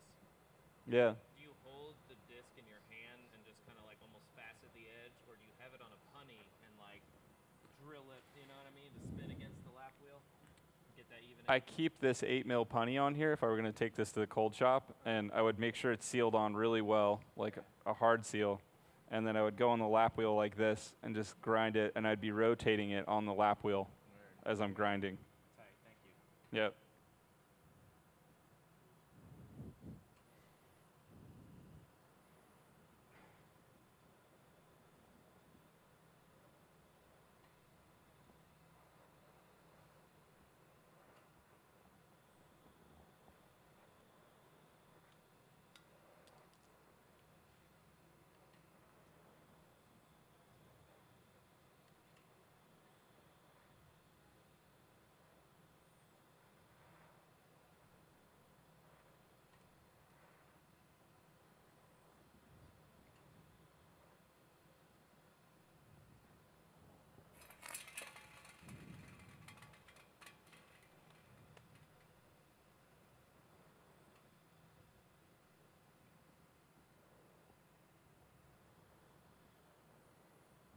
So it's real close here. Just got to go around one more time. Peel off a little bit more clear. Gets really sensitive here because you can you can peel too much and peel into the color. I'm going to leave the teeniest rim of of clear around the edge of this.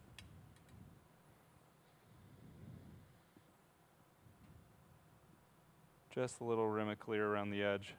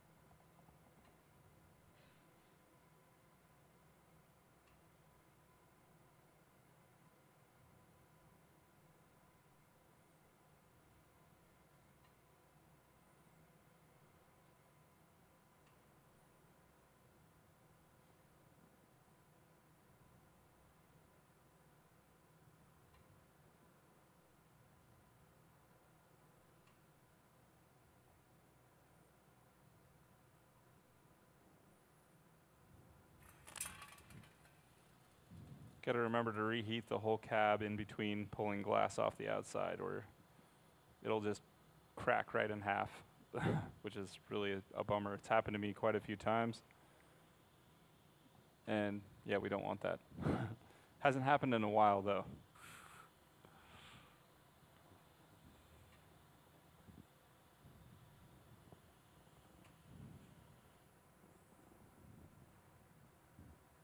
So I'm looking for a nice even rim of clear around the edge. It's real close. Probably just going to pull a couple little more bits off of here.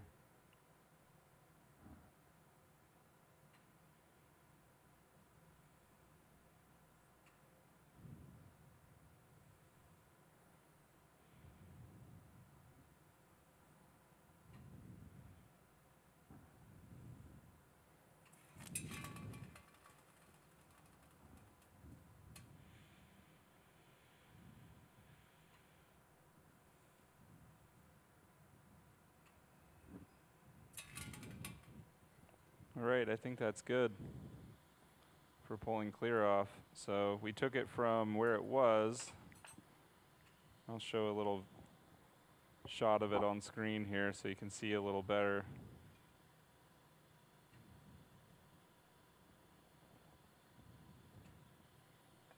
Uh, yeah, here we have it. Wait, I'm blocking it. There we go.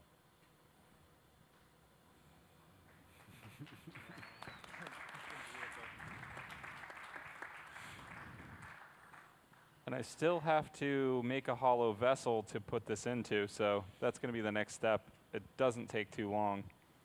Um, I want to say maybe another 30 minutes, as long as it's okay for everyone to hang out you know, if they want to. Absolutely. Yeah. Cool, cool. Yeah, yeah. Thank you. Oops, Yep. I haven't even looked at the clock. Been so enthralled here. Then It's this will be four, four o'clock right now. Have at it. Yeah, another 30 minutes, and it'll be a finished pendant. Perfect. This is a little different process than I did on this uh, other pendant that I have here that uh, Eric was passing around or showing everyone. On that on that pendant there, I just once I had it flat on the back of the tube, I would coil, I would pull down some color down to about four millimeters, and then start from the center and coil a layer of color all the way around till it covered the whole back. And then I would take that and put a bail on it remove it from the tube and then clean up the edges, cut the extra clear off just like I just did, and then I would put a bail on it. Usually I use the uh, marble mold to even the edges. Might actually do that on this one. So to do that, I kind of heat up.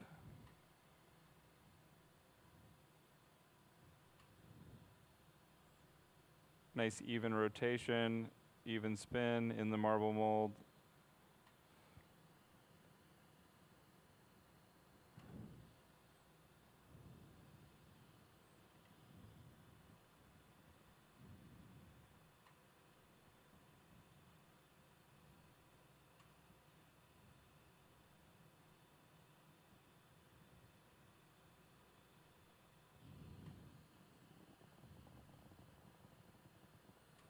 That evens out the color on the edges.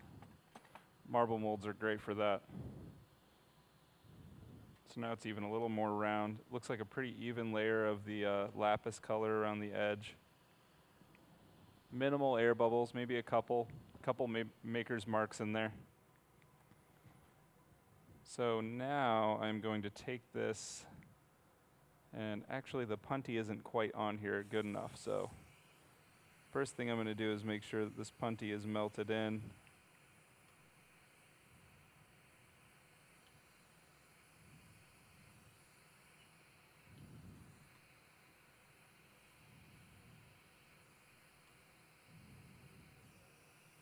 Last thing I want is for this to pop off at any point, so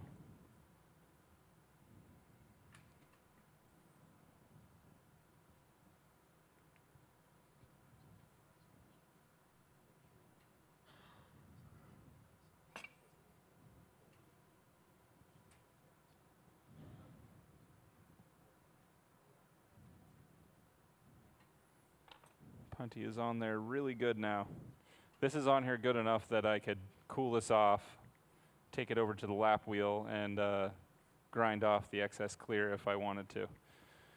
But uh, another reason for that is sometimes when you break the punty off, or if, if say if I bonked this against something and it popped off with the punty the way it was, it would probably break a chunk out and take some color with it, which would ruin my design. So I'm just trying to keep this design as intact as possible and as close to how it was when I drew it.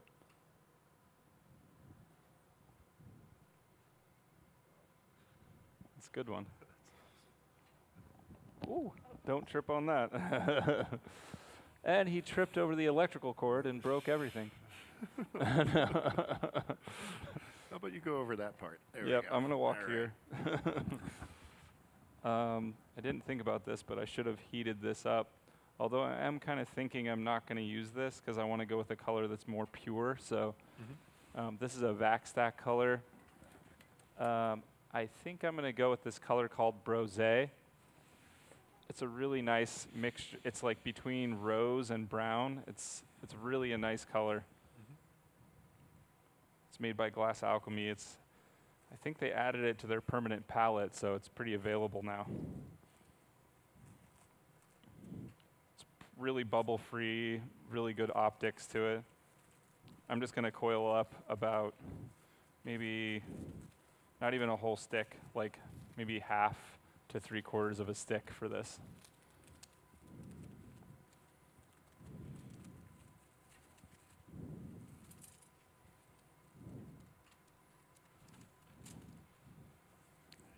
Oh, thanks. So I'm going to try to inspect the stick to see if it's clean, make sure it doesn't have any rocks in it or anything like that. And I'm going to do the old wipe off on the shirt technique. Clean it up a little bit. It's pretty clean any, anyhow. I have it right in the, in the package here, so it didn't get dirty.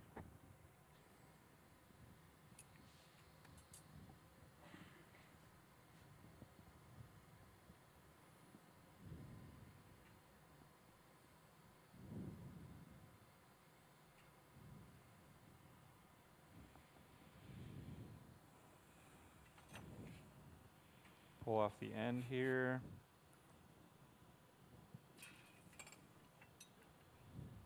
There's something really gratifying about coiling up some color. It happens a lot faster than the technique I was just doing, too. Much, much faster.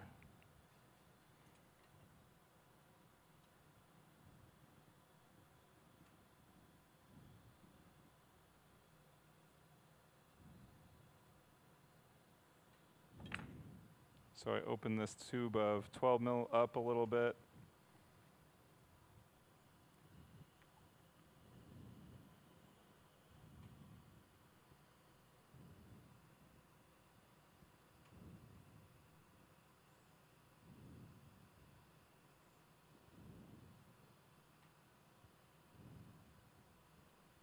I'm just coiling this up. I'm kind of rotating the glass a little bit in my right hand and I started around the edge of the tube and I'm slowly just coiling this up, making it bigger as I go. So you're trying to create a, a tube of the color that you currently have a rod of. That's Yes, yes, on. exactly. This is probably one of the easier techniques to turn rod into tube. There's a lot of different ways you can do it. A lot of different ways.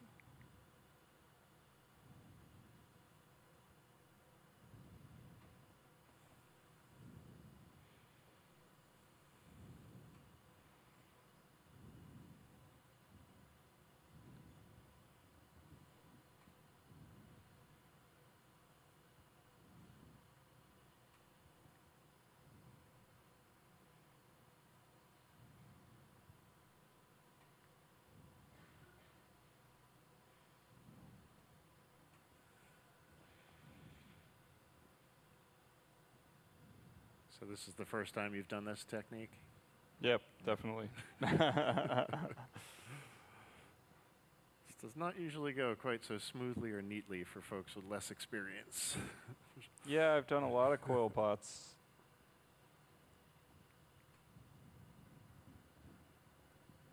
In a way, it's kind of like pottery, maybe. I think that this is a technique in pottery. Hmm. Where they coil up clay and then make a vessel. Yep.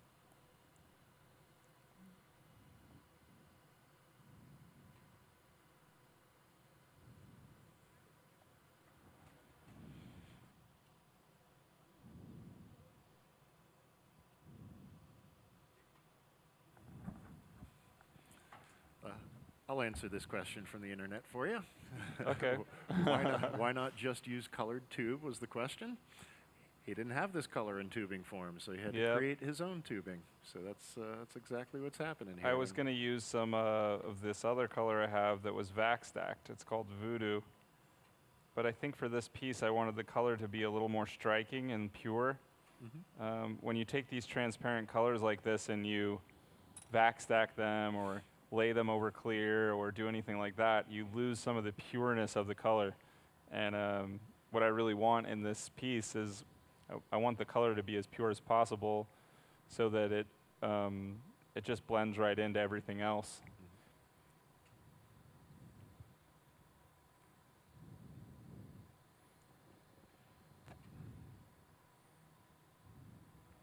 So now I'm going to melt in all this coil here. I think I got about about three quarters of a stick. I think this is going to be enough.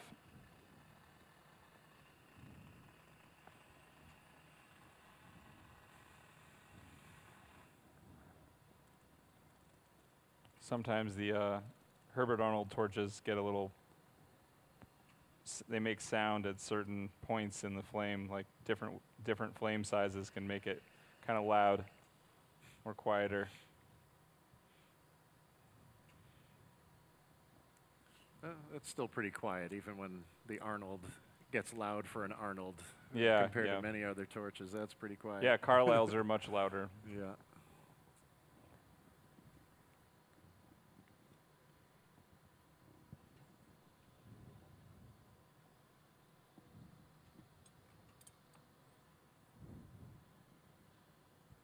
Actually.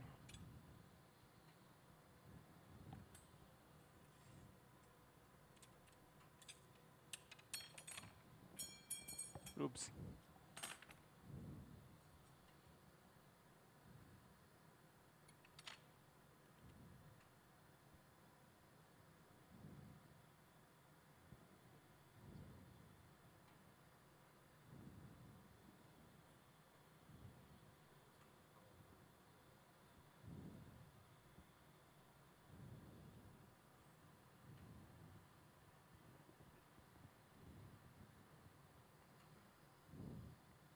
So I'm going to melt this in here.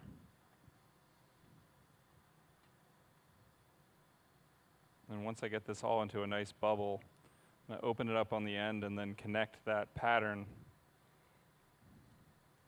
onto the end of this and then work it into a disc a disc shape.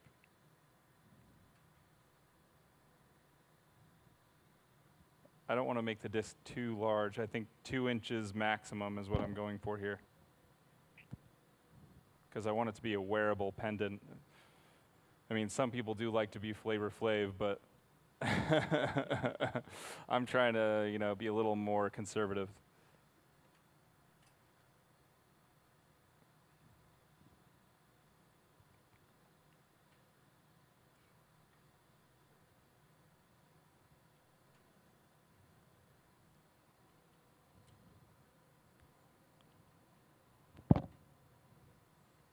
Not used to having this mic here. I keep knocking the handle on it.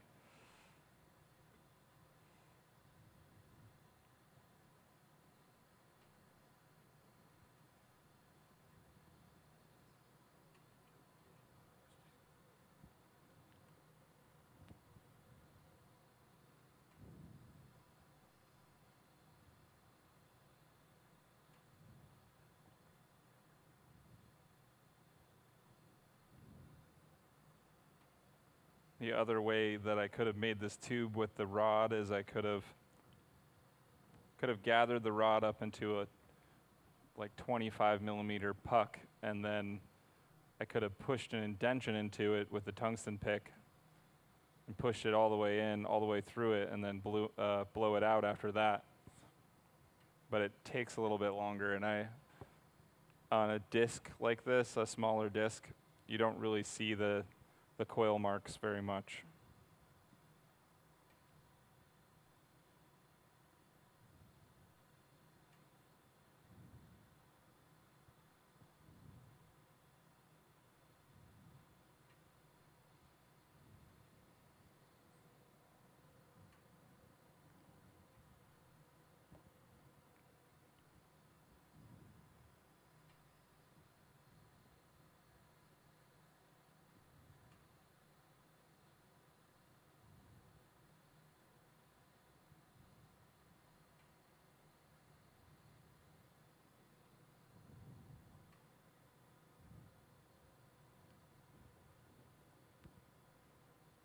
All right, I hope that's enough color. I think it is, but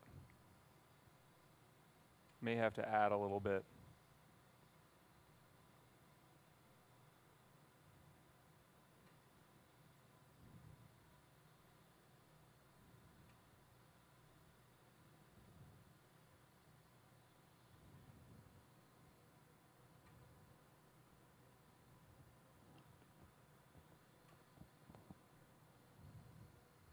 Probably am just going to add just a little bit to this.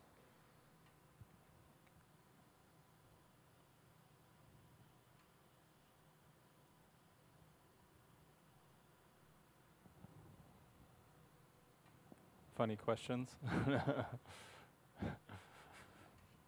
funny online questions. I bet there's some really one funny ones they couldn't uh, ask me.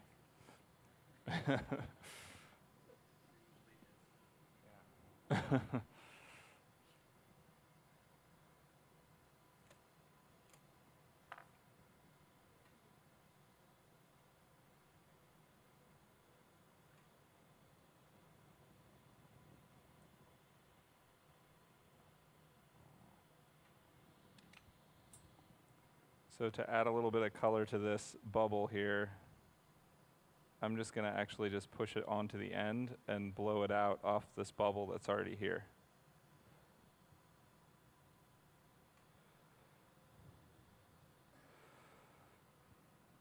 I don't need a whole lot more, just, just a little bit more.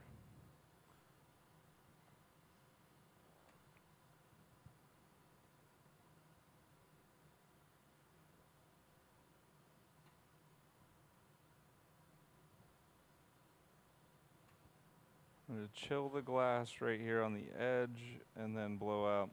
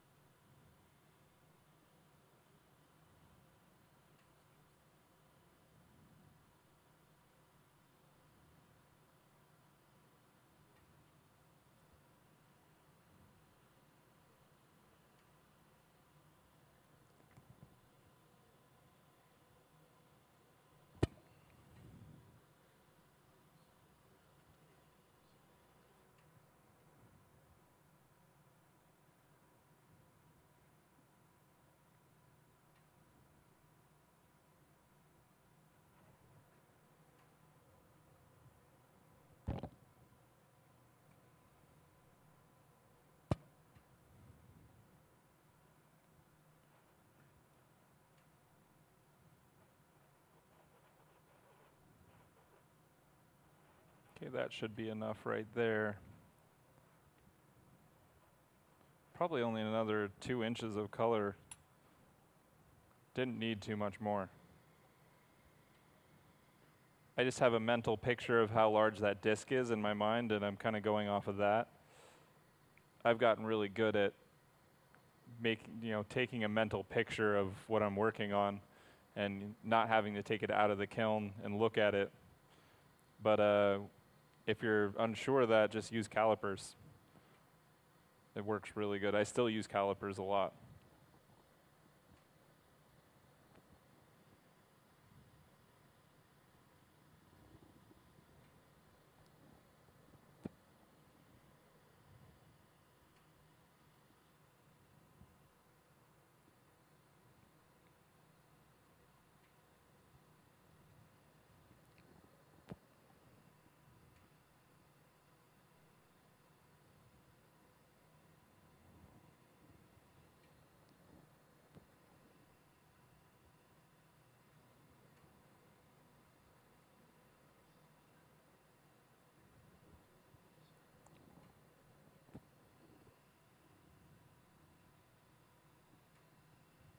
All right, got that all blown out, and I think I have enough color now. This bubble needs to be the same diameter as the flip for me to add it to it. It could, this bubble could be a little smaller than the flip that I did. And then I just have to flare open a little wider than the bubble is, which is totally doable, but ideally, having the bubble the same size is, is what you want.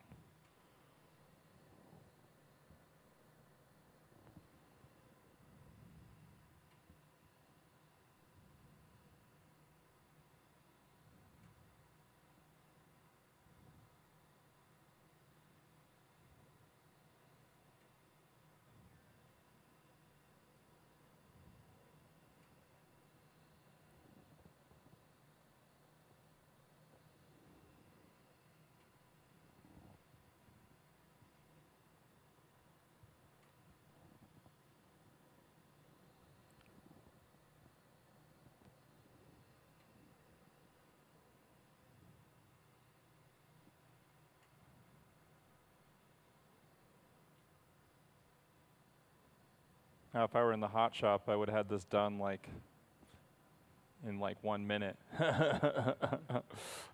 I am sitting here making this bubble for the last 15, 20 minutes. Uh, if only we could just gather it and have it molten already.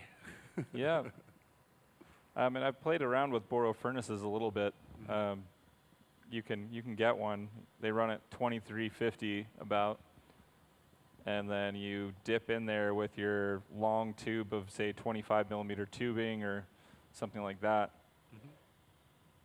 You can dip right in there. It's really hot when you open that thing up, ripping hot. Got to wear gloves and stuff. Uh, especially gathering from vertically right above the furnace. That will certainly cook you pretty good.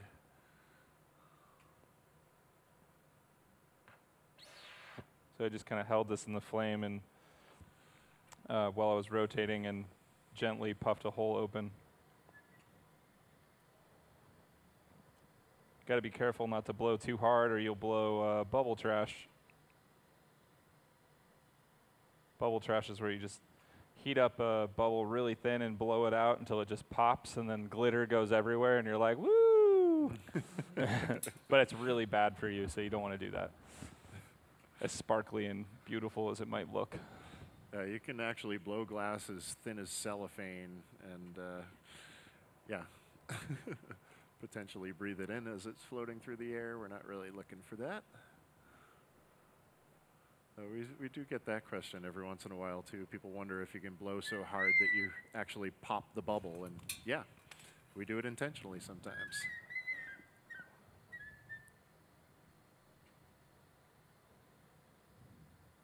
Had that whistle going because uh, the hole was just the right size and the flame had just the right velocity that it was like a little flute in the flame hitting the, the edge of it.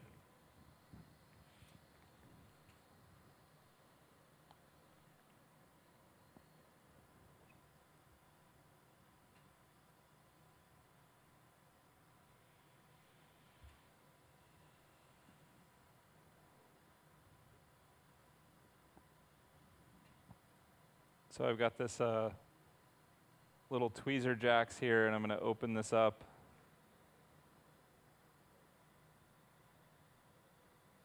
Now in the hot shop, most people would, would go up and they would hold the jacks underhand. With this small jacks, I have actually have to hold this straight and then go down because I have more stability going down with my left hand. There's no weight in this really, so it's a little bit different than hot shop jacks.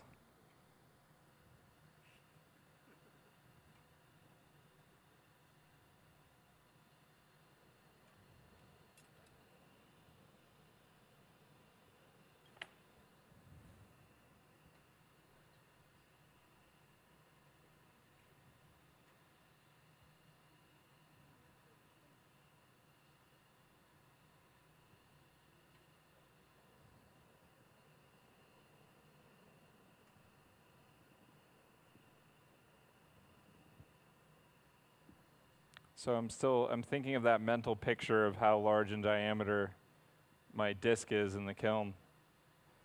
and I'm going to open this to what I think it is. We'll see how close I get.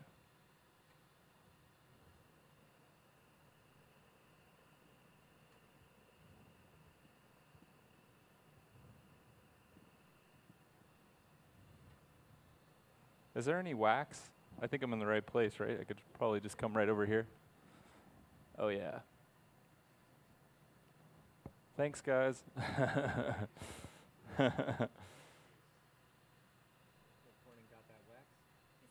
no, no, this is great. Any wax is good wax when you need it. Yeah.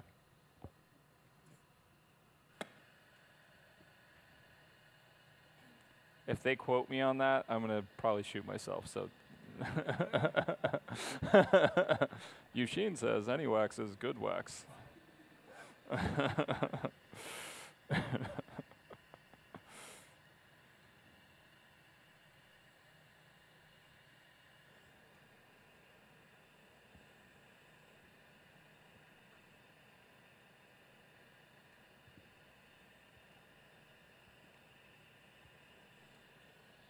Thanks. So I think I'm almost opened up big enough here. Just, I think, one more time of opening here. Nice even heat base and just one more.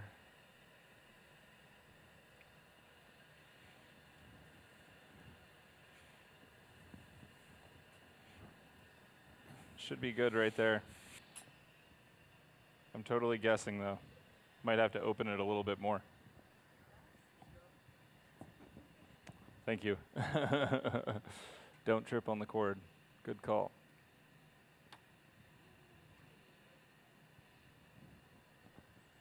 I actually need a uh, Kevlar pad, but I don't have one.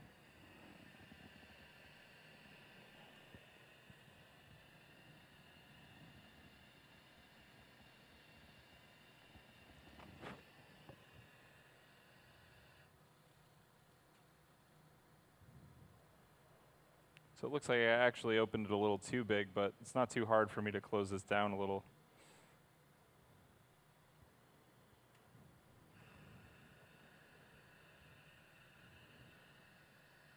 I'm just going to get some heat into this pattern.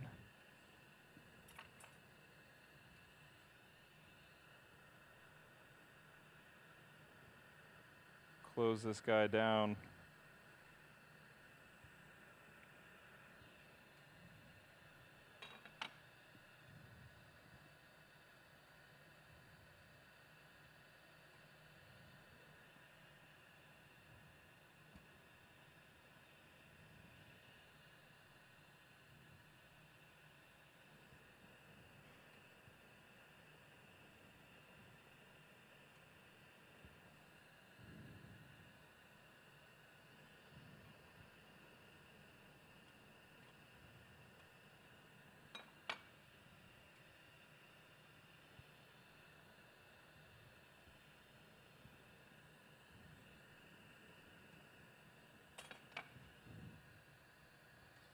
Oh, that's perfect. Yep, that's all I needed for.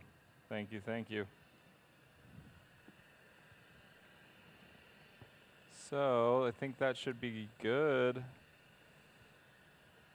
I'm gonna I'm gonna make it a little smaller. Well, I think actually that was perfect because I wanted to touch the clear to touch the brose.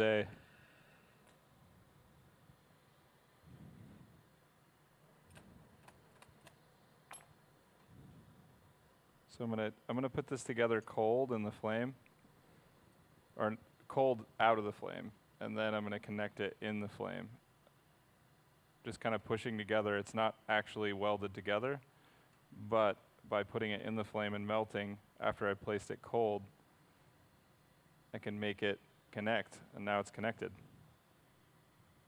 Then I'm gonna heat up this whole edge, give it a little marv down, kind of connecting that.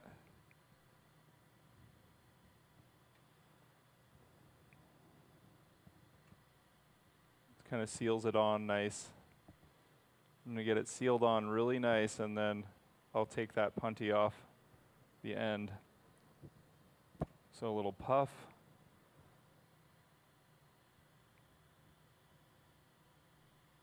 probably actually going to leave that punty on just for now because I have to shape the disc in the back part.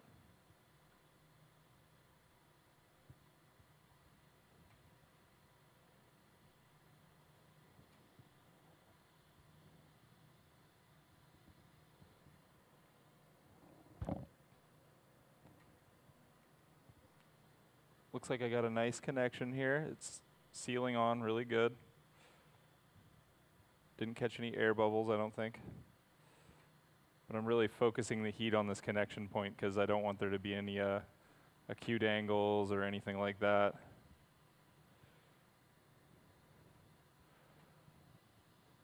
I'm spinning both directions so I don't twist up the pattern once again.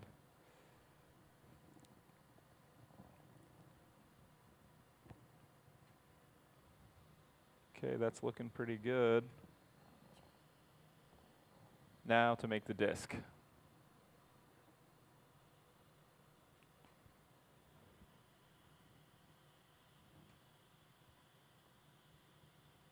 So I'm going to make this crisp edge here.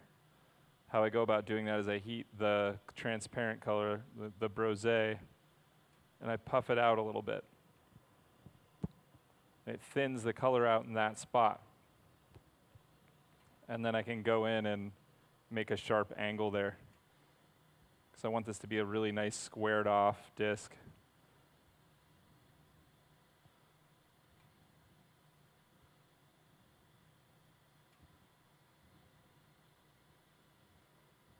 So now I'm pushing together. And puff it one more time. I'm going to push together some more.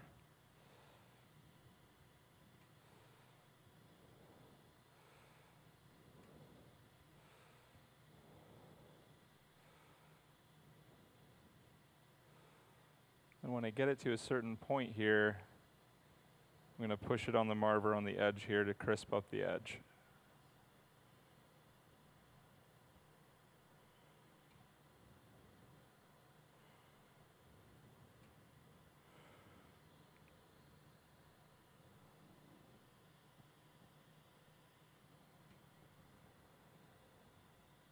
So we got one edge. Now I'm going to do the other edge. I'm going to have to go back to the front and melt this a little bit just to get it extra crisped up.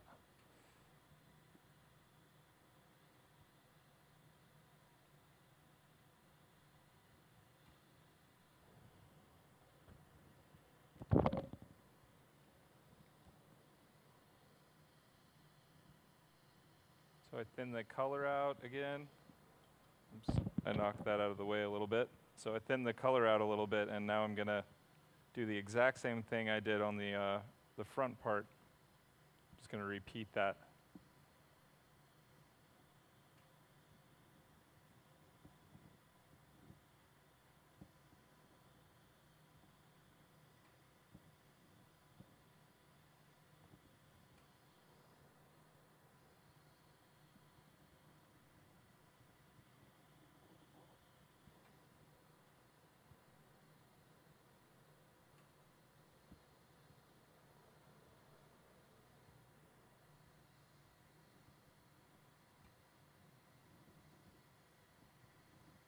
I'm using my marver pad to make some some shaping here, crisping up the edges going between the uh, outside edge and the top of the marver pad.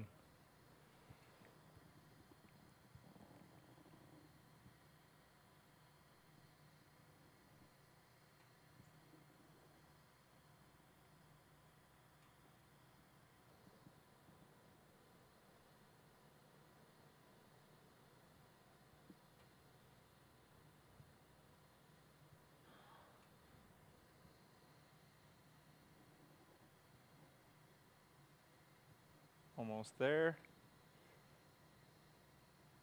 One more uh, edge, edge of the disc marvering here, and it'll be ready to melt the front. And then I'm gonna pop two holes, and this thing will be done almost. Just got to tear the back off.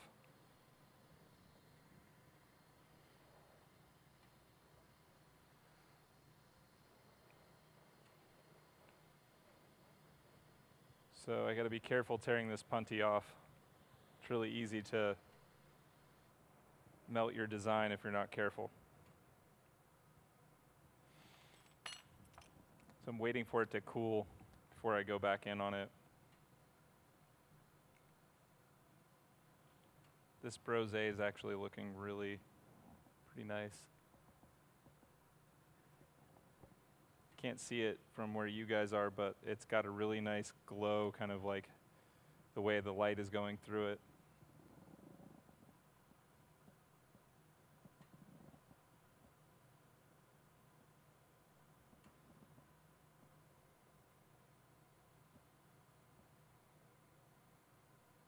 Just getting all that clear off. Gotta let it cool a little bit more.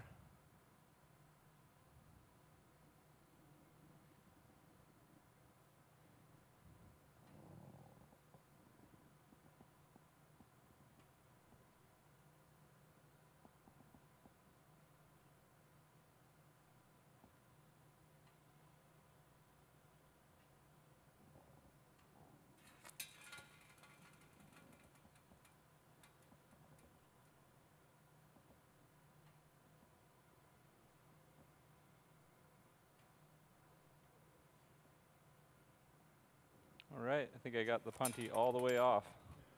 Now I'm going to melt the face flat.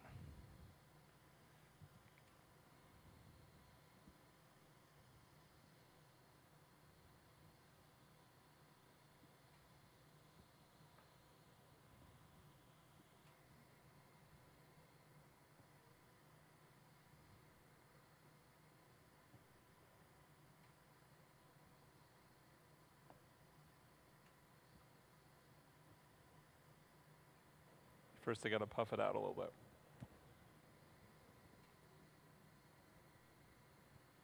Puffing this out is just going to kind of even the thickness up a little bit. When I did that seal initially, it was a little bit, it's just a little bit thick there, and I don't want that to pop later or have any cracking issues, so a little puff out and then melt it back in, it should be good.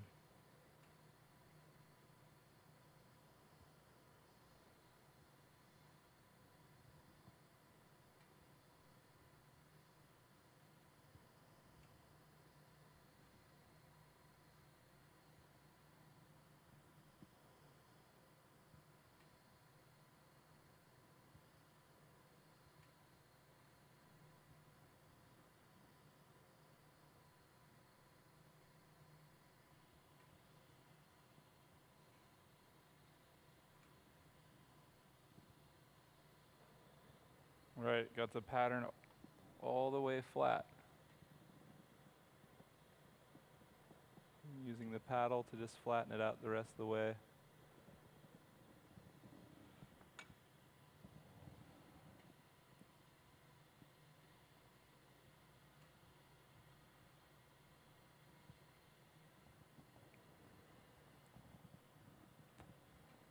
Just a teeniest puff on that on the out. Looks good.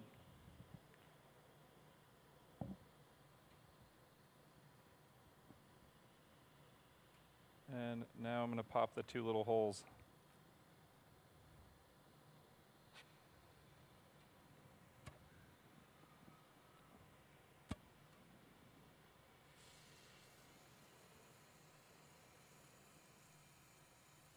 Got to figure out where I want to pop them, so I'm using the light from the torch to give me a little bit more light.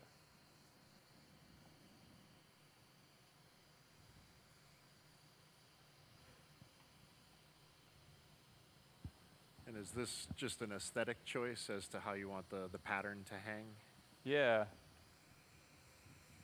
Yep, I'm going to choose this way.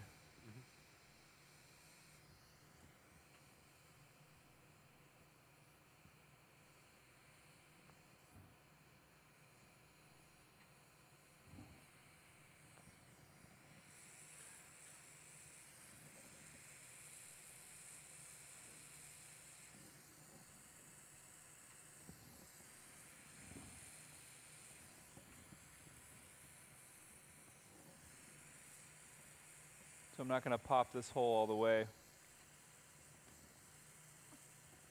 Just going to get it to about that point.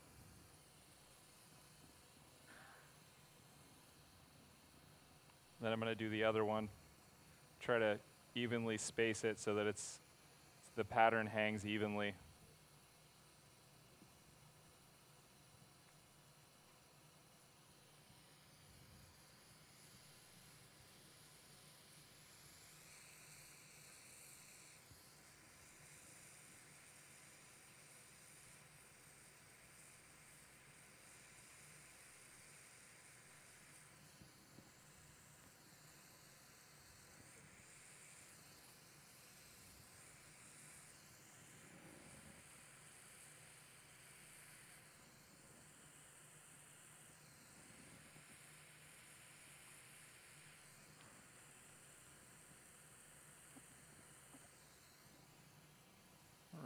Got the other one opened.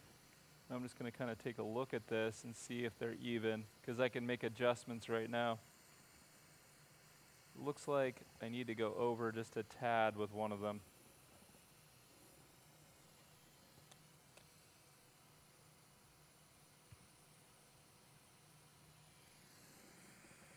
So I'm to do it with this one here.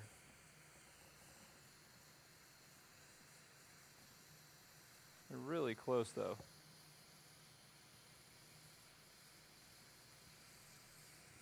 I have like a couple reference points on the pattern.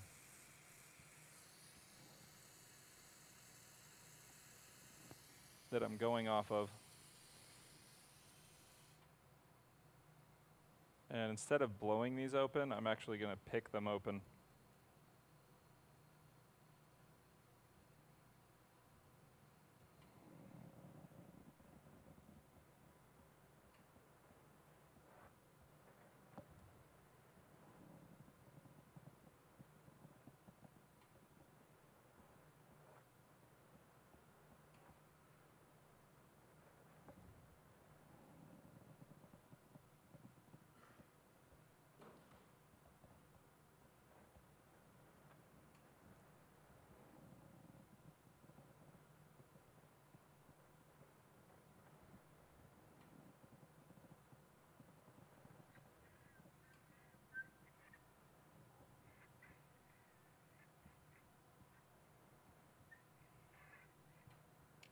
I want these holes to be big enough that uh, you can fit a chain through this, so I'm gonna open them a little bit.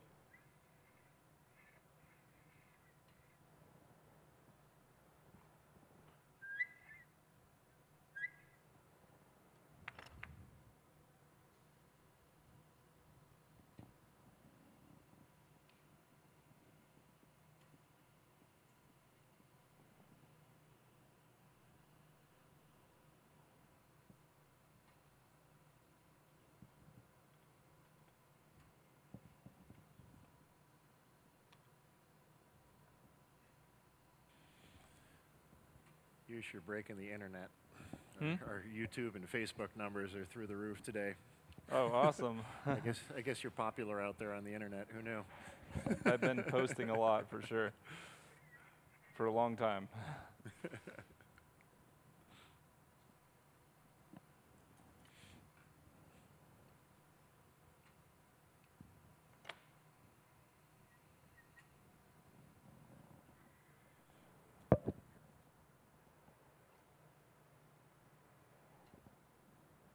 All right. Almost there. Just trying to make these holes as even as possible.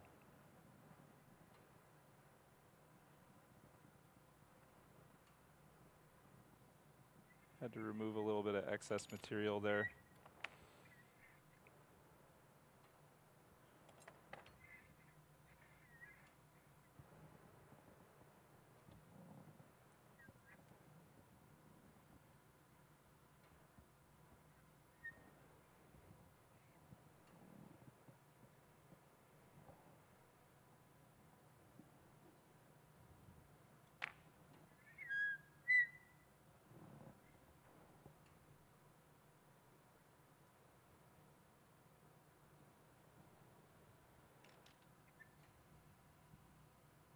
Right, the holes are done. So now I gotta do the last step, which is put a punty to the center of my beautiful pattern, a cold seal. I know, I'm da- living dangerously here. I could do a hot seal if I wanted to.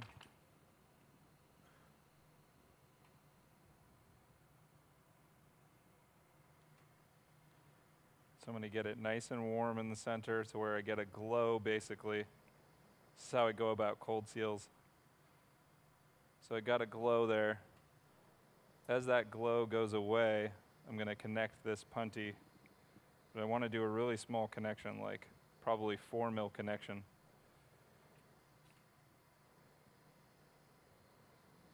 And glow is still there, so I'm going to wait just a second longer. Heating the punty up, give it one last heat, and I'm going to connect it. That should be good right there. It's not perfectly on center, but I don't need it to be on there for too long.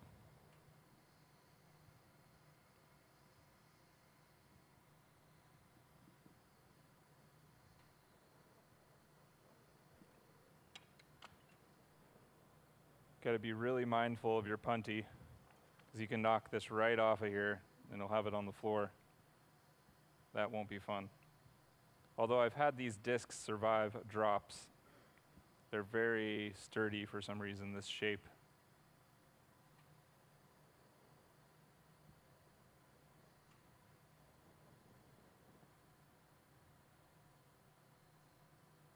And remove a little bit of excess glass from the back of this.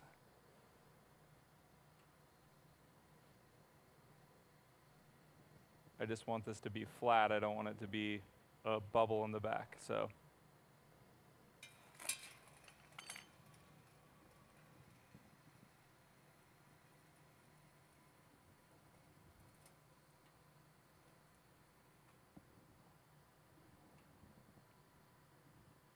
keeping a nice even rotation. I'm just going to melt this until it goes flat. I'm holding it downward a little bit to help even the glass out.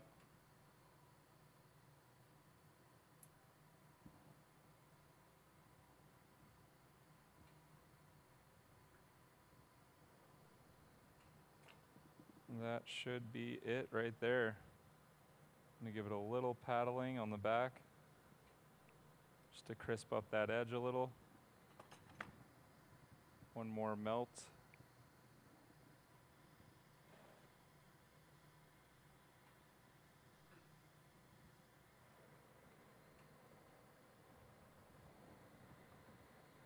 And it's slightly concave on the back. I, I kind of like that aesthetic.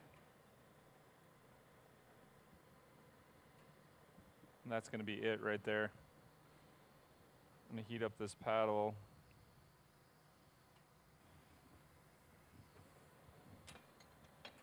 Basically, boom. And then I'm going to fire polish the uh, center.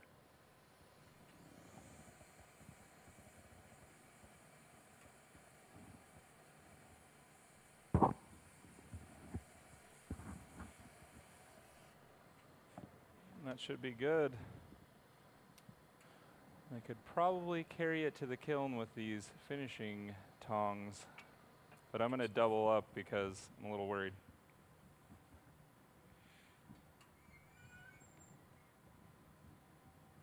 There we go.